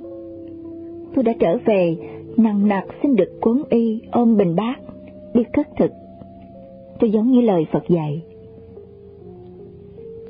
Ở lứa tuổi nhiều nhiệt tình nhưng bồng bột đó, tôi đã khổ tâm không ít khi thấy mình vi phạm hầu hết các giới điều vừa lãnh thọ. Giữ tiền, ăn quá 12 giờ trưa, học tập sách vở thế tục, đạp xe chạy như bay ngoài đường, thay vì đi từng bước chậm rãi. Chui đầu vào các thư viện lục lọi thế cho những giờ tọa thiền cần thiết. Đó là chưa kể đến những lúc tôi lết thết đi trước sa tan, miệng niệm Phật tiếp dẫn vong linh, mà mặt đỏ như sâu gất, vì thoáng nghe lời xì xào của đám bạn học, đứng lố nhố trong đám khách bàn quan. Mãi đến mấy năm sau, khi có dịp đọc được một mẫu chuyện trong quyển truyện tích Pháp Cứu, các hoài nghi của tôi mới được tháo bung ra, nhờ bắt gặp lời giải đáp của Đức Đạo Sư cho một vị tân tỳ kheo có cùng tâm trạng. Uttiya là một thanh niên quý tộc ở kinh thành xá vệ. Sau khi làm đầy đủ các bổn phận của một Phật tử tại gia, như bố thí, cúng dường, thọ trì năm giới cấm, vân vân. Uttiya đến xin phép Phật, sống đời tăng sĩ. Đức Đạo Sư liền chấp nhận cho chàng được tọa nguyện. Sau khi thọ giới tỳ kheo, Uttiya đâm hoảng, chàng tự nghĩ. Không ngờ một sa môn phải giữ đến 250 giới. Chỉ nhớ không thôi cũng đủ mệt rồi, nói gì đến chuyện thọ trì. Và tân tỳ kheo Uttiya đâm ra lúng túng, vì thầy có một trí nhớ rất ư là kém cỏi. Không bao lâu, thầy đến gặp Đức Đạo Sư để xin hoàn tục vì thấy không tài nào phơi sở với hàng trăm giới cấm như thế. Đức Phật hỏi thầy, Này tỳ kheo, con xin hoàn tục chỉ vì các điều giới quá nhiều, khiến con không thể nhớ nổi, chứ không phải vì con tiếc nuối đời sống dục lạc, có phải không? Bạch Thế Tôn, đúng như vậy. Con trộm nghĩ rằng, khi còn làm cư sĩ, chỉ phải giữ gìn có năm giới cấm, sát trộm, tà dâm và uống rượu, là những điều mà con có thể nhớ và thi hành được. Còn hôm nay số lượng giới luật quá nhiều, khiến con không có cách nào nhớ hết, thì làm sao tránh khỏi việc vi phạm? Chi bằng con trở về đời sống thế tục, để khỏi làm nhiễm ô đến giới pháp cao quý của chư Tăng. Này tiệt heo! nếu Như Lai thâu gọn 250 giới lại, chỉ còn mỗi một điều thôi, thì con có thể tiếp tục sống đời tu sĩ được không? Uttiya vui mừng nói, Bạch Thế Tôn, được như thế thì còn gì bằng? Này tỳ kheo, vậy thì bắt đầu từ hôm nay, con chỉ nên giữ vỏn vẹn có một giới thôi. Đó là canh chừng thật chặt chẽ những móng tâm động niệm của con. Hiểu rõ chúng là thiện hay ác. Này Uttiya, làm sao để biết những điều con vừa nghĩ là thiện hay ác? Ý tưởng ác. Này tỳ kheo, là những gì mà nếu đem ra nói năng hay hành động sẽ gây hại cho mình, cho người, hoặc hại cả hai. Ngược lại, thiện là những điều mà khi suy nghĩ, nói năng hay hành động, chẳng những không gây hại, mà còn đem lại hạnh phúc cho người, cho mình, cho cả hai nữa với hai loại ý tưởng như thế. Này Uttiya, con phải canh chừng, theo dõi chúng, từ lúc mới nảy sinh, lan rộng, cho đến khi lụi tàn và tiêu diệt mất. Và này tỳ kheo, nếu phải nói năng hay hành động, con nên cẩn thận, sao cho lời nói hay việc làm đã không di hại cho ai mà còn đem lại hạnh phúc cho mình, cho người và cho mình lẫn người. Này Uttiya, với một giới điều duy nhất như thế, con có thể thọ trì được không? Bạch Thế Tôn, con có thể giữ được. Rồi thầy tỳ kheo Uttiya, với một giới duy nhất như thế, tu tập tinh cần, thầy cũng đắc A-la-hán quả.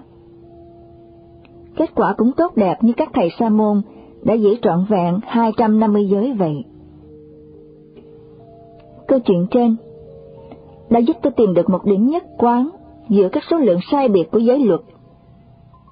Điểm tương đồng đó, Đức Phật đã tóm tắt trong câu Pháp Cứu 183, mà chúng tôi vẫn thường tụng trong mỗi kỳ Bố Tát ngày xưa. Các điều ác, chớ làm, các điều lành, vân giữ, tự thanh lọc ý mình, là lời chư Phật dạy. Trong buổi thỉnh nguyện chiều nay, sau phần phát lồ và chỉ lỗi như thường lệ, chúng tôi đi đến một linh tinh nhằm giải quyết các vấn đề thời sự nóng bỏng trong và ngoài chùa. Trước tiên, vị kháng bệnh, người phụ trách việc chăm nom sức khỏe và điều trị bệnh cho toàn chúng, yêu cầu hai việc. Thứ nhất, mọi người nhớ uống thuốc ngừa sốt rét cho đều đặn. Thứ hai, tri khố khi sắp thức ăn hàng ngày, nên lưu tâm đến số lượng bệnh nhân, dành những thức ăn hợp với bệnh trạng và khẩu vị người bệnh. Kế tiếp, toàn chúng đề cử thuần chánh, thuần tuệ, dạy bổ túc văn hóa cho các bạn vào những giờ ngoài công tác. Sau dăm bảy tiếng về mùa màng, mưa nắng, chúng tôi đi đến vấn đề sau cùng là việc đi lao động đợt hai. Có nhiều ý kiến mâu thuẫn, nhưng rồi chúng tôi cũng nhất trí với nhau rằng chưa thể kéo hết toàn lực lượng đi vào đợt này, vì mùa màng ở nhà cũng đang nằm trong tình trạng khẩn trương. Tuy vậy, phải cắt vài người cùng đi với dân chúng trong tổ và ấp. Vì chúng tôi là những vị đã có kinh nghiệm về chúng đi đầu. Khi nào cấy và gặt xong xuôi, chúng tôi sẽ kéo nhau đi một lần để trả cho sạch nợ. Hạnh Châu đăng ký đi thêm một lần nữa, sau khi tuyên thệ một cách long trọng rằng sẽ không khóc, và hãy đặt đâu thì ngồi ở đó.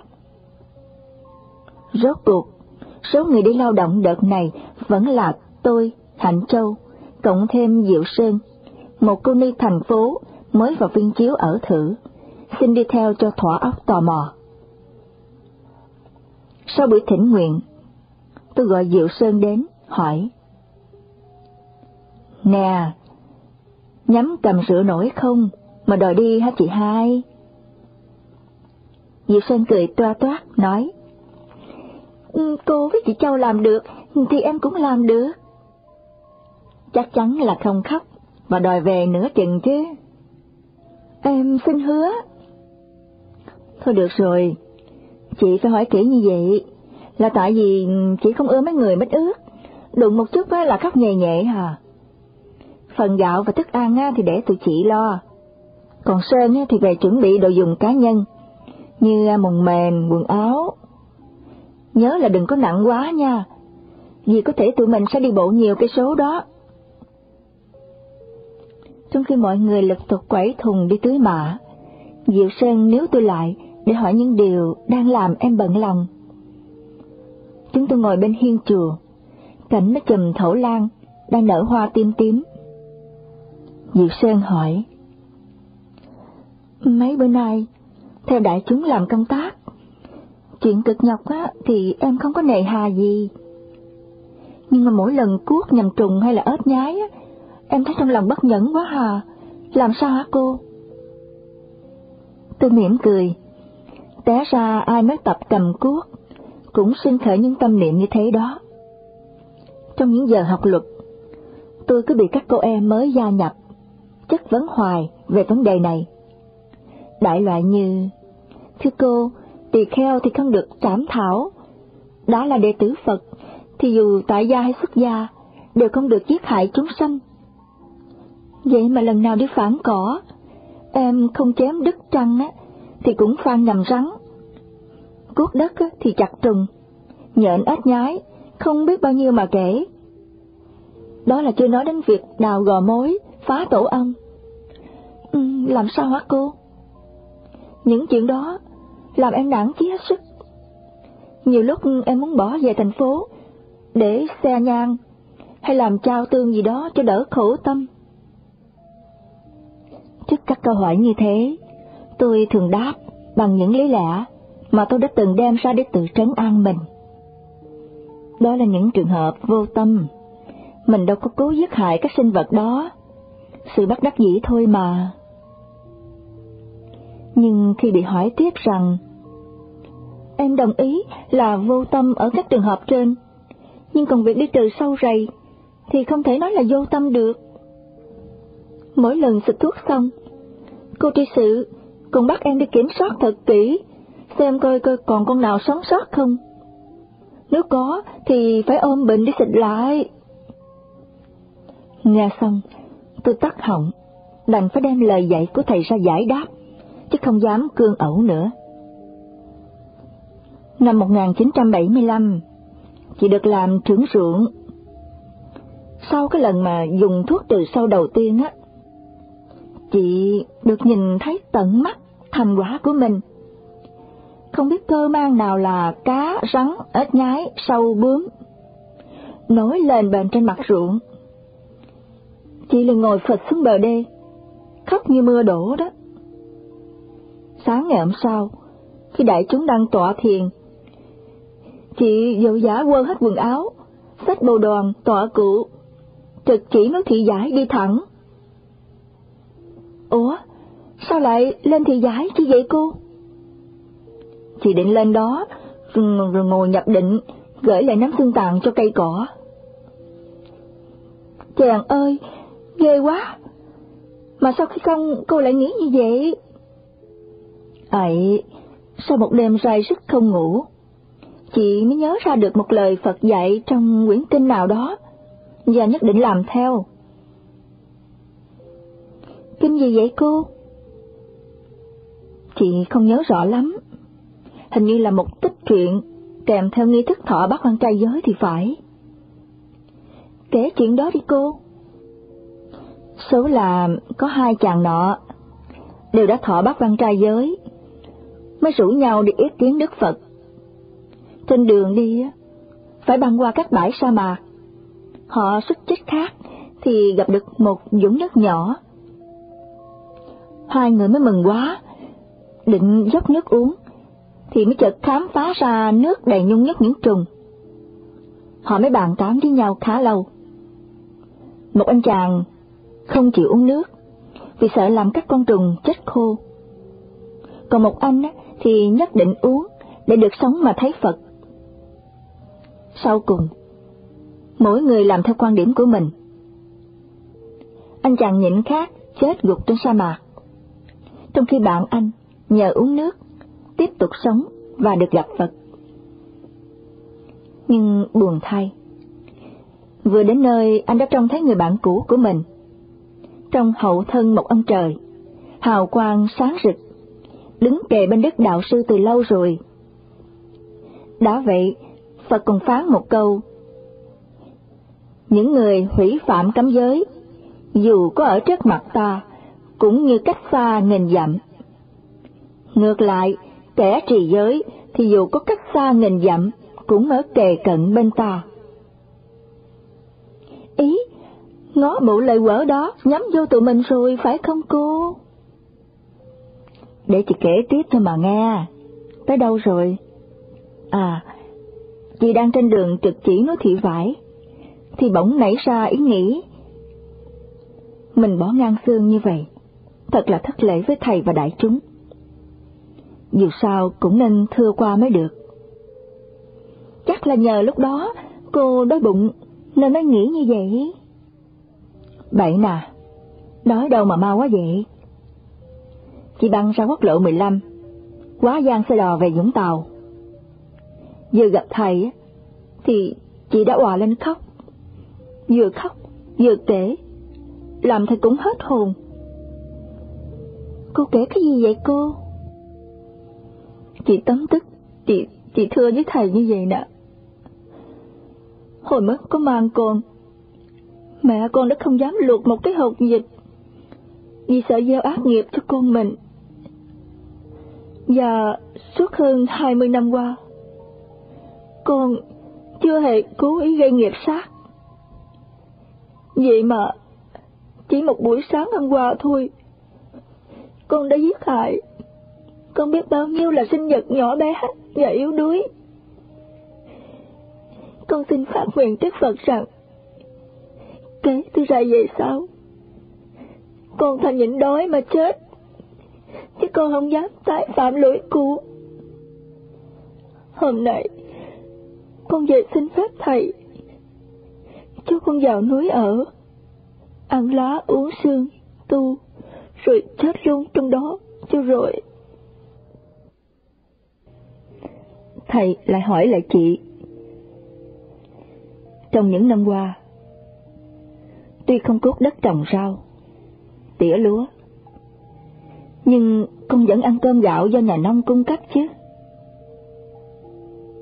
Chị mới thưa, dạ. Thầy mới nói tiếp.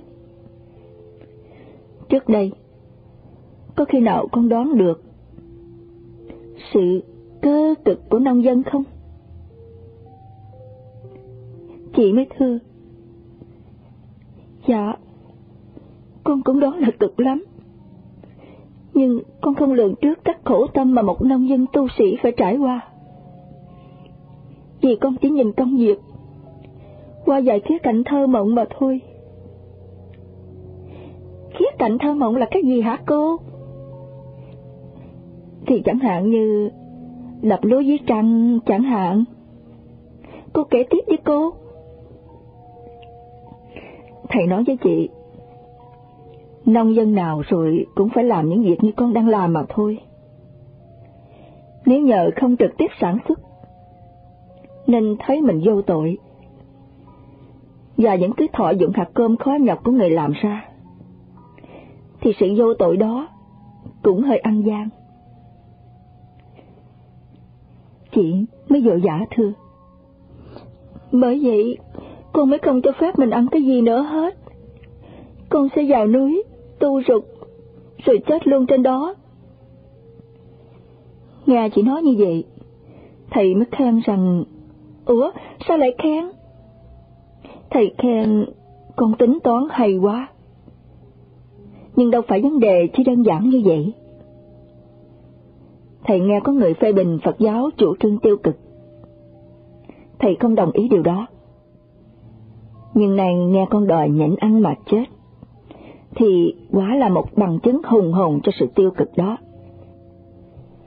Rồi sao nữa cô? Thầy mới bảo tiếp. Nếu bây giờ, hàng tăng sĩ như các con, không vướng bận gia duyên và các bổn phận của thế tục, mà không thể hành đạo được. Cứ chấp cứng vào các giới điều, bó tay chịu chết. Thì hàng Phật tử tại gia còn nói gì đến chuyện tu học. Rồi cô đáp sao? Chị mới cãi. Con thấy hàng tại gia còn có nhiều thì giờ và phương tiện tu học hơn tụi con nhiều. Thầy mới nói, những người con thấy đó chỉ là một thiểu số thôi. Còn đa số bình dân đang tối mặt tối mũi về việc ăn mặc. Con bỏ quên họ rồi sao? Phật giáo đâu chỉ dành riêng cho thành phần thiểu số được ưu đãi trong xã hội. Chắc tới đây thì cô chịu thua rồi. Chưa hết đâu. Thầy còn bồi thêm một câu nữa, làm chị đau điếng. Câu gì mà dữ vậy cô? Thầy bảo, con đừng tưởng phải đợi đến lúc nhịn đói, xác thân con mới chết. Bộ nó chẳng sống chết và sinh diệt trong từng giây phút đó sao?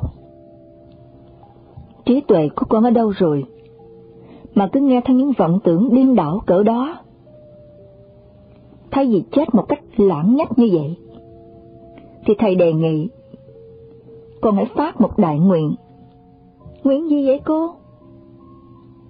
Nguyện rằng nếu con không ôm bình đi xịt thuốc trừ sâu, thì những người bạn đồng đạo của con cũng phải làm. Và họ cũng sẽ phải trải qua những tâm niệm say sức khổ sầu hệt như con. Vì thế kể từ ngày hôm nay, con xin phát nguyện sẽ làm công tác đó suốt các cuộc đời còn lại của mình, để tránh cho các bạn con khỏi sự buồn phiền và hối hận. Rồi cô có phát cái đại nguyện đó không cô? Phải nói là nguyện đại thì đúng hơn. Thấy chị ngồi nghe một cách bí xị, thầy mới kể thêm một câu chuyện tích về tiền thân của Đức Đạo Sư. Chuyện gì vậy cô? Chuyện kể rằng, thuở xưa, có một đoàn thương khách, hơn 500 người, mướn thuyền sang sông. Điều rủi ro là họ xuống nhầm chiếc thuyền của năm tên hải tặc. Bọn cướp bỏ thuốc mê vào rượu, khiến các thương khách đều say mềm, ngoại trừ ông trưởng đoàn. Nhờ giữ giới cấm, nhất định không uống rượu. Trước tình thế nguy cấp đó, ông mới tự nghĩ, kể từ ngày thọ năm giới cấm đến nay, ta chưa hề móng tâm sát hại một sinh linh nào. Nhưng ngày hôm nay, ta phải ra tay can thiệp, để ngăn ngừa năm đại hán này khỏi phạm tội ác khủng khiếp và bảo toàn sinh mạng cho những người vô tội kia. Nghĩ xong, ông tước gươm, quần thảo và giết sạch bọn cướp. Kể xong câu chuyện, thầy mới kết luận. Kinh điển có nhiều hệ thống, cốt để bổ túc cho nhau con chỉ chắc vào một vài giới điều, rồi cho đó là chân lý, thì không gì thiển cận cho bằng. Những điều Phật chế ra, tức là giới luật, chỉ thích hợp cho đời sống của chúng tăng trong phạm vi của xã hội Ấn cách đây hơn 25 thế kỷ. Còn thời đại và xã hội của chúng ta đã đổi khác. Con không nhớ trong kinh Phạm Võng, Đức Phật có dạy rằng chỉ có hàng phàm phu vô trí, ít học, mới tán thán giới đức như lai. Còn bậc thánh hữu trí thì khen ngợi trí đức của Như Lai, hay sao? Vậy rồi sao nữa cô? Thì chị trở về viên chiếu, mò vô bếp, lục cơm nguội ăn, và tiếp tục sống đến bây giờ vẫn chưa chết. Còn cái vụ xịt thuốc trừ sâu thì sao hả cô? Chị vẫn phải tiếp tục, vừa làm vừa để tâm nghiên cứu xem có phương pháp nào trừ sâu mà khỏi dùng đến thuốc độc hay không? Rồi kiếm ra không cô? Sao lại không? Theo lời người ta mách, thì kết quả tốt đẹp tới một trăm phần trăm. Chà, hay quá, cách gì vậy cô? Theo lời chỉ dẫn, chị lén sắm sửa một mâm cơm canh, bánh trái, mang ra đặt trên bờ đê. Vái vang, long thần hộ pháp, thổ địa đất đai, thành hoàng nhân trạch, âm sâu bà rầy, xin làm phước, đừng cho âm binh quấy phá chúng tôi tội nghiệp. Rồi có kết quả không cô? Có chứ. Kết quả là năm đó thất mùa, phải ăn khoai trừ cơm. Năm 78 đó mấy đứa. Dạ. Năm đó thì ai cũng phải ăn khoai trừ cơm hết vì thất mùa toàn diện mà cô. Thật ra thì năm đó lúa bị bệnh quá nhiều. Tôi chỉ dùng đủ loại thuốc mà vẫn bất lực, nên mới cúng vái cầu mai vậy thôi.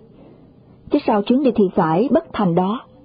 Chị về viên chiếu, vâng lời thầy, phát cái nguyện đại, đâu được vài tháng, thì bị sốt rét, phải nằm liệt giường suốt cả tháng trời. Sau khi hết sốt, chị cứ bị làm cử hoài, phải kiên dầm nước, nên đành đầu quân, mới qua băng sảy, trao cái bình xịt, cùng lời đại nguyện lại cho hạnh nhã. Diệu Sơn mới hỏi tôi, con có đọc trong cúng kinh nào đó, Đức Phật dạy rằng giới là nền tảng đầu tiên để đi đến định. Định là cơ hội chuẩn bị cho tuệ giác phát sinh. Nếu nền tảng đầu tiên đã bị lung lay, thì định và huệ làm sao có được hả cô? Sơn có đọc kinh Bách Diệu chưa? Dạ chưa. Đó là một quyển kinh thuộc hệ phát triển. Trong đó có một thí dụ khá ngộ nghĩnh như thế này. Một ông nhà giàu nọ, gia sản rất là đồ sộ, với vô số ngọc ngà châu báu quý giá. Nhưng quý nhất là cậu con trai một của ông. Anh chàng này được cái thật thà làm ăn giỏi vắng, nhưng hơi vụng tính. Bữa nọ, ông cha có việc đi xa, gọi con đến dặn vào công việc làm ăn hàng ngày. Sợ con mình chảnh mãn, ông cha mới căn dặn mãi. Còn ở nhà, nhớ canh chừng cửa nẻo cho cẩn thận, sinh mạng cha con mình nằm ở đó. Người cha đi được vài hôm, mọi việc ở nhà đang xuôi chèo mát mái, thì có một gánh hát về làng. Vốn rất mê coi hát. Cậu công tử đứng ngồi không yên, cho đến lúc anh ta nghĩ ra một diệu kế tuyệt vời. Tháo hết các cánh cửa, từ cổng cho đến cửa cái, cửa sổ, cửa bếp, cửa kho, rồi chất hết lên xe bò. Anh chàng đánh xe đến đám hát lộ thiên, rồi ngồi ngất nghẽo trên đống cửa, xem hát thỏa thích. Tan hát, anh chở cửa về, lắp ráp lại như cũ. Khi người cha trở về, ông cơ hồ ngất xỉu khi thấy toàn thể gia tài được sạch bách, trong khi các cánh cửa hãy còn nguyên vẹn. Diệu Sơn bật cười. Kinh gì mà vui vậy cô? Đoạn tiếp theo chị quên mất rồi. Nhưng chị kể lại câu chuyện trên, để hỏi Diệu Sơn vài điều. Điều gì hả cô? Chị tạm thí dụ, giới luật là cánh cửa, thiền định là chiếc tủ sắt, trí tuệ là vàng bạc chứa trong tủ đó. Gặp hoàn cảnh thuận tiện và có đầy đủ khả năng. Cậu con phải bảo toàn nguyên vẹn cả ba thứ, cửa, tủ và vàng bạc. Có phải thế không nào? Giá phái. Cũng vậy. Trong ba pháp, giới, định, tuệ, chúng ta phải bảo vệ toàn vẹn, vì đó là toàn thể gia sản của mình. Nhưng sao cô? Gặp thời loạn lạc, phải đi lánh nạn phương khác, thì anh chàng nên chọn thứ nào để đem theo? Dạ, dĩ nhiên là anh ta mở tủ sắt, hốt hết vàng bạc châu báu, bỏ vào túi mang đi cho nhẹ. Thế còn cửa nẻo và cái tủ? Dạ, bỏ lại cho rồi. Vậy thì, gặp những lúc không thể thực hành trọn vẹn những giới điều mà Phật đã quy định, lại không có đủ thì giờ để hành thiền suốt ngày như người xưa. Các đại sư Phật giáo đã tìm đủ mọi phương cách ứng biến.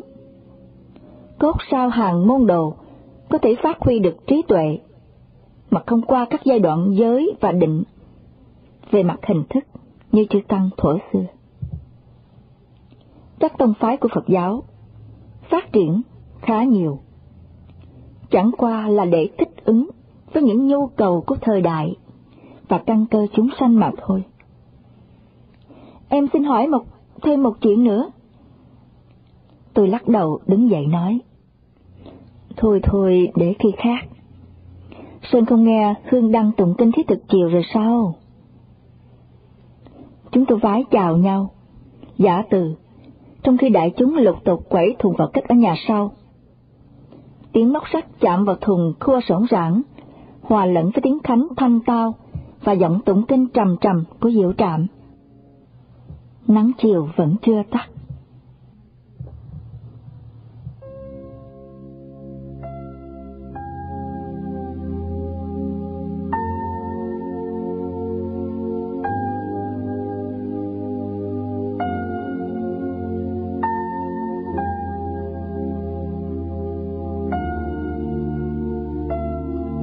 Thứ ba, 19 tháng 2 năm 1985, nhằm mùng 30 tháng 1 âm lịch. Hôm nay chúng tôi được nghỉ công tác. Từ hai người làm bếp và vị tri cố ra, toàn chúng chỉ phải làm vệ sinh, gánh nước, tưới rau, phủ ban rẫy, rồi thì tự do. Tôi đi đến tấm bảng treo trước cửa nhà kho, thường dùng để ghi công tác hàng bữa, viết mấy chữ bằng phấn màu. Một giờ ba mươi, học ghi ma cực. Huệ ý nôm thấy trước nhất, la lên. Chết cha, chiều nay học rồi mấy chị ơi! Quay sang tôi, cô bé kỳ nào? Hổm say, lưu bưu quá hà, con chưa kịp dò bài. Học trễ một chút đi cô, hôm nay nghỉ công tác mà. Tôi đưa tay sửa con số một giờ ba mươi thành hai giờ. Huệ ý buộc miệng nói, Văn hô! Rồi chạy biến đi. Hạnh Bảo đã thay xong một bộ đồ lam mới toanh. Đi ngang, dầm tấm bảng nói, Chiều nay cô kêu con khúc đầu thôi nghe cô. Hạnh Châu than, mang tiếng nghỉ mà mất hết nửa buổi để làm công tác rồi. Tôi quay lại, trợn mắt dọ hai cô em, nói, đi dò bài đi. Vậy là hên lắm đó. Trong mấy năm đầu, ở đây không có nghe đến cái tiếng nghỉ đâu.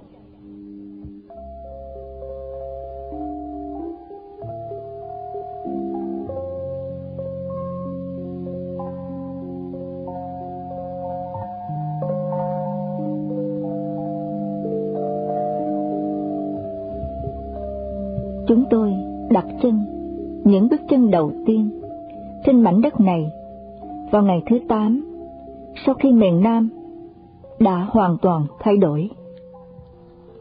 Thuở ấy, viên chiếu hay còn là một khoảnh rừng hoang thật sự. Chúng tôi không rõ gian sang của mình dài rộng bao nhiêu, vì khó mà phóng tầm mắt len lỏi qua những thân cây hùng vĩ đang chằng chịt với tre gai, mây dứa và dây leo. Việc khẩn cấp nhất là làm cỏ lúa, vì trước đó hai tháng, thầy chúng tôi đã cho người phát hoang và trĩa hơn hai mẫu ruộng. Chúng tôi tối mắt tối mũi về công việc, cỏ dại mọc nhanh hơn lúa, nên phải tranh thủ làm cho kịp, kẻo lúa bị chết hết. Có làm cỏ ruộng mới thấm thía câu tục ngữ công cấy là công bỏ, công làm cỏ là công ăn. Sau thời gian, suốt ngày cấm cuối, chỉ đứng chẩn mông, cấm cổ xuống đồng, cơm bò xa mũi, như thế. Sứ táo quân viên chiếu. Thì một buổi chiều, tôi chợt khám phá ra rằng, dường như đã đến ngày Phật đản. Tôi hối hả đi tìm chị Từ Thanh đương kim quản viện lúc ấy, tôi hỏi. Chị Thanh ơi, hình như hôm nay là ngày Phật đản phải không? Chị Thanh chân hững, lẩm nhẩm bấm đốt ngón tay rồi kêu lên.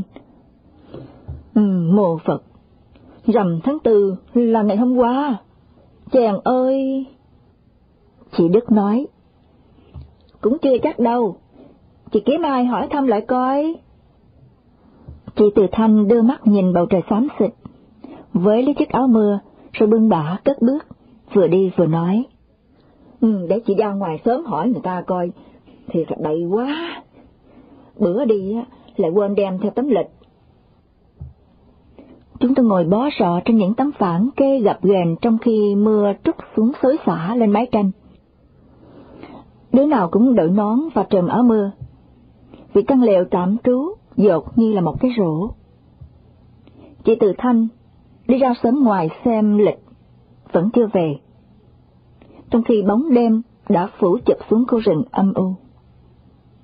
Hành giải cất tiếng lo lắng. À, không biết cô Thanh có mang đèn pin theo không nữa? Thành Nhã đề nghị. Hay là để em đi đón cô? Cô Mỹ Nguyên cản. Đi coi chừng nước cuốn trôi mất. Mưa to như thế này chắc cổ ngủ đậu ở đâu đó rồi. Tôi vừa há miệng định nói, thì có tiếng reo. À, về rồi. Chị Từ Thanh bước vào, rung lập cập, nói. Ờ, mưa lớn thấy sợ. Chúng tôi nôn nóng hỏi. Sao chị? Chị cười thành tiếng. Phật đáng là ngày hôm qua mấy đứa ơi. Chúng tôi đồng buộc miệng than. Chị nói tiếp giọng dỗ dành. Đáng lẽ chị về sớm kia chứ, nhưng nghĩ tội nghiệp mấy em quá. Chị lội bộ lên chợ, mua ít đồ về nấu cho mấy đứa nồi chè nè. Mình ăn Phật đản trễ dài hôm cũng được mà. Tôi chồm dậy, đang hào hứng định nói một câu gì đó, thì cô Mỹ Nguyên đã cằn nhằn. Ừ, ở gần mấy ông này á, ừ, chắc có ngày tôi đứt tim á. Hồi tối á, ổng lấn chút nữa thì lọt xuống sàn rồi. Tôi bá cổ cô cười khúc khích. Ôi chao, tội nghiệp cô chưa? Thôi tối nay cô nằm phía trong đi. Chị Đức tiếp. Ừ, để nó có lớn á, thì cô chỉ bị bẹp thôi chứ không có bị lọt. Giải thiện bỗng cất tiếng la ba bãi. Ai, ai, cho em mượn cái đèn pin một chút, ai, Chúng tôi xôn xao. Cái gì vậy? Cái gì vậy? Giải thiện rên rỉ. À, con dắt, con dắt nó nằm ngay mép tay em nè. Chúng tôi nín thở, ai cũng đưa tay kiểm soát thân thể để tìm cho ra sinh vật kinh khủng đó. Tôi kỳ kèo với cô Mỹ Nguyên. Cô cho em nằm phía ngoài đi, nằm gần tấm giác, em sợ con giác quá. Bác công vắt no tròn và cầm máu cho giải thiện xong, chúng tôi nhao nhao bàn tán. Chị Thanh nhắc. Đi ngồi thiền đi mấy đứa, ngồi đó mà nói bậy hoài. Nó cắn thì chảy máu thôi, chứ có chết chắc gì đâu mà sợ, không biết nữa. Tôi leo lên bộ đoàn, bắt chân vào thiền, nhưng không tài nào định tâm được. Ừ, những lời đồn đãi về đĩa và vắt cứ văng vẳng mãi bên tai và chui cả vào kim bao thay cho những câu kinh thành kính mà chúng tôi thường dâng lên đức từ phụ trong các ngày khánh đảng hàng năm. Nam mô hiện tọa đạo tràng, liên hoa đài thượng bá bao quan trung, vạn đức từ dung, tứ thập cửu niên thuyết kinh giáo chủ. Song lâm thị tịch, bổn sư thích ca mâu ni Phật. Kính lễ Đức Bổn Sư Thích Ca Mâu Ni Phật. Người đang ngồi ở đạo tràng, trên đài hoa sen, giữa hàng trăm ánh hào quang sáng chói. Từ dung muôn đức lành, suốt 49 năm làm vị giáo chủ thuyết kinh, thị hiện vào Niết Bàn tại rừng sông Thọ. Sau một năm trộn rộn, chúng tôi đã có một mái nhà tạm để che sương. Mùa nắng thì mái tôn hắt xuống, nóng như cái lò hấp. Sang mưa, chúng tôi phải chất cả thau thùng lên nắp mùng để hứng nước. Những năm đầu, ruộng thu hoạch khá. Nhưng nếu tính kỹ, muốn kiếm được một bát cơm ăn, cũng phải đổ ra ngần ấy mồ hôi lẫn nước mắt. Ruộng đồng chi chít những gốc cây, hầm hố, gai gốc và mảnh bơm. Muốn tìm cho ra một khoảnh đất trồng rau, chúng tôi phải đốn hàng chục cây rừng, chặt rễ, bới gốc lên, rồi mới gieo hạt xuống được. Bọn chúng tôi đều xuất thân từ dân học trò, chỉ giỏi ăn, nói, cãi nhau hơn là làm. Chưa đứa nào có kiến thức về nông lâm nghiệp hết, nên tha hồ cho khách bàn quan bày vẽ, treo chọc. Khi một gặt đầu tiên vừa xong, mặt ruộng còn lĩnh bỉnh những nước với gốc rạ, xen lẫn cỏ dại. Một ông cụ đi ngang, buộc miệng. Mấy cô không trồng bí đỏ. Trồng làm sao hả bác? Khó gì, cô nào ra chợ mua một cái cho thiệt lớn, về trẻ ra lấy hộp, một cô bỏ hộp, một cô lấy chân đạp xuống đất. Ba tháng sau, kêu xe công nhân vô chợ mà đi bán, chớ ăn gì hết. Chúng tôi liền hớn hở thực hành. Chỉ Đức bê sổ bí đi trước, luyện đại xuống ruộng. Tôi đi sau, dùng hết sức bình sinh mà đạp cho nó lún xuống bùn, rồi bỏ vào nhà, ngồi thắt thởm, chờ ngày kêu xe chở bí đem bán. Băng rẫy cũng chẳng khôn ngoan gì hơn ruộng. Hạnh đoan trồng dưa leo, trái chỉ nhỉnh hơn quả cao một chút, rồi thì bắt đầu teo lại. Có người bày. Cây cỏ cũng giống hệt cái con người à, buồn quá lớn không nổi, mấy cô phải chịu khó hát cho nó nghe. Thế là mỗi chiều, Hạnh đoan đều ra vườn dưa ngồi hát véo von. Đó là những lời đùa vô hại. Nhưng cũng có chẳng ít câu mắt nước, làm các nụ cười trở thành méo, như quậy phân bò tươi, chế gốc bầu đang xanh mơn mởn, làm nó vàng vọt rồi chết rũ. Bứng dây mướp, thả vào hố tro để nó chết khô chẳng hạn. Suốt mấy năm đầu, thầy chỉ đến thăm chúng tôi dăm ba tháng một lần để dạy cho bọn học trò các bài học hoàn toàn phi kinh điển. Cách phân biệt cây lúa và cỏ tranh, dặm lại số lúa đã chết, chăm sóc vụ mùa theo từng thời điểm cần thiết, gieo mạ, cấy, làm cỏ, xịt thuốc, gặt. Chúng tôi tập làm quen với những danh từ chuyên môn của nhà nông. Nhảy chân nơm, đồng đồng, cong trái me, đỏ đuôi học cách nhìn mặt trời mà đón giờ khắc. Phải ngắm mây bay và trăng sao mỗi đêm. Không để làm thơ, mà cốt tiên đoán thời tiết. Phân biệt chiều gió thổi đặng gieo gặt cho kịp thời vụ nắng mưa. Lâu lâu thầy cũng có dạy học, nhưng chương trình đã được cập nhật hóa. Cách dụng công trong lúc làm việc, chủ trương bất tác bất thực của các thiền sư thuộc dòng bát trượng hoài hải. Và nhất là nỗi lưu tâm gắn bó đến việc mất còn thịnh suy của đất nước qua di sự của các thiền sư Việt Nam còn lại.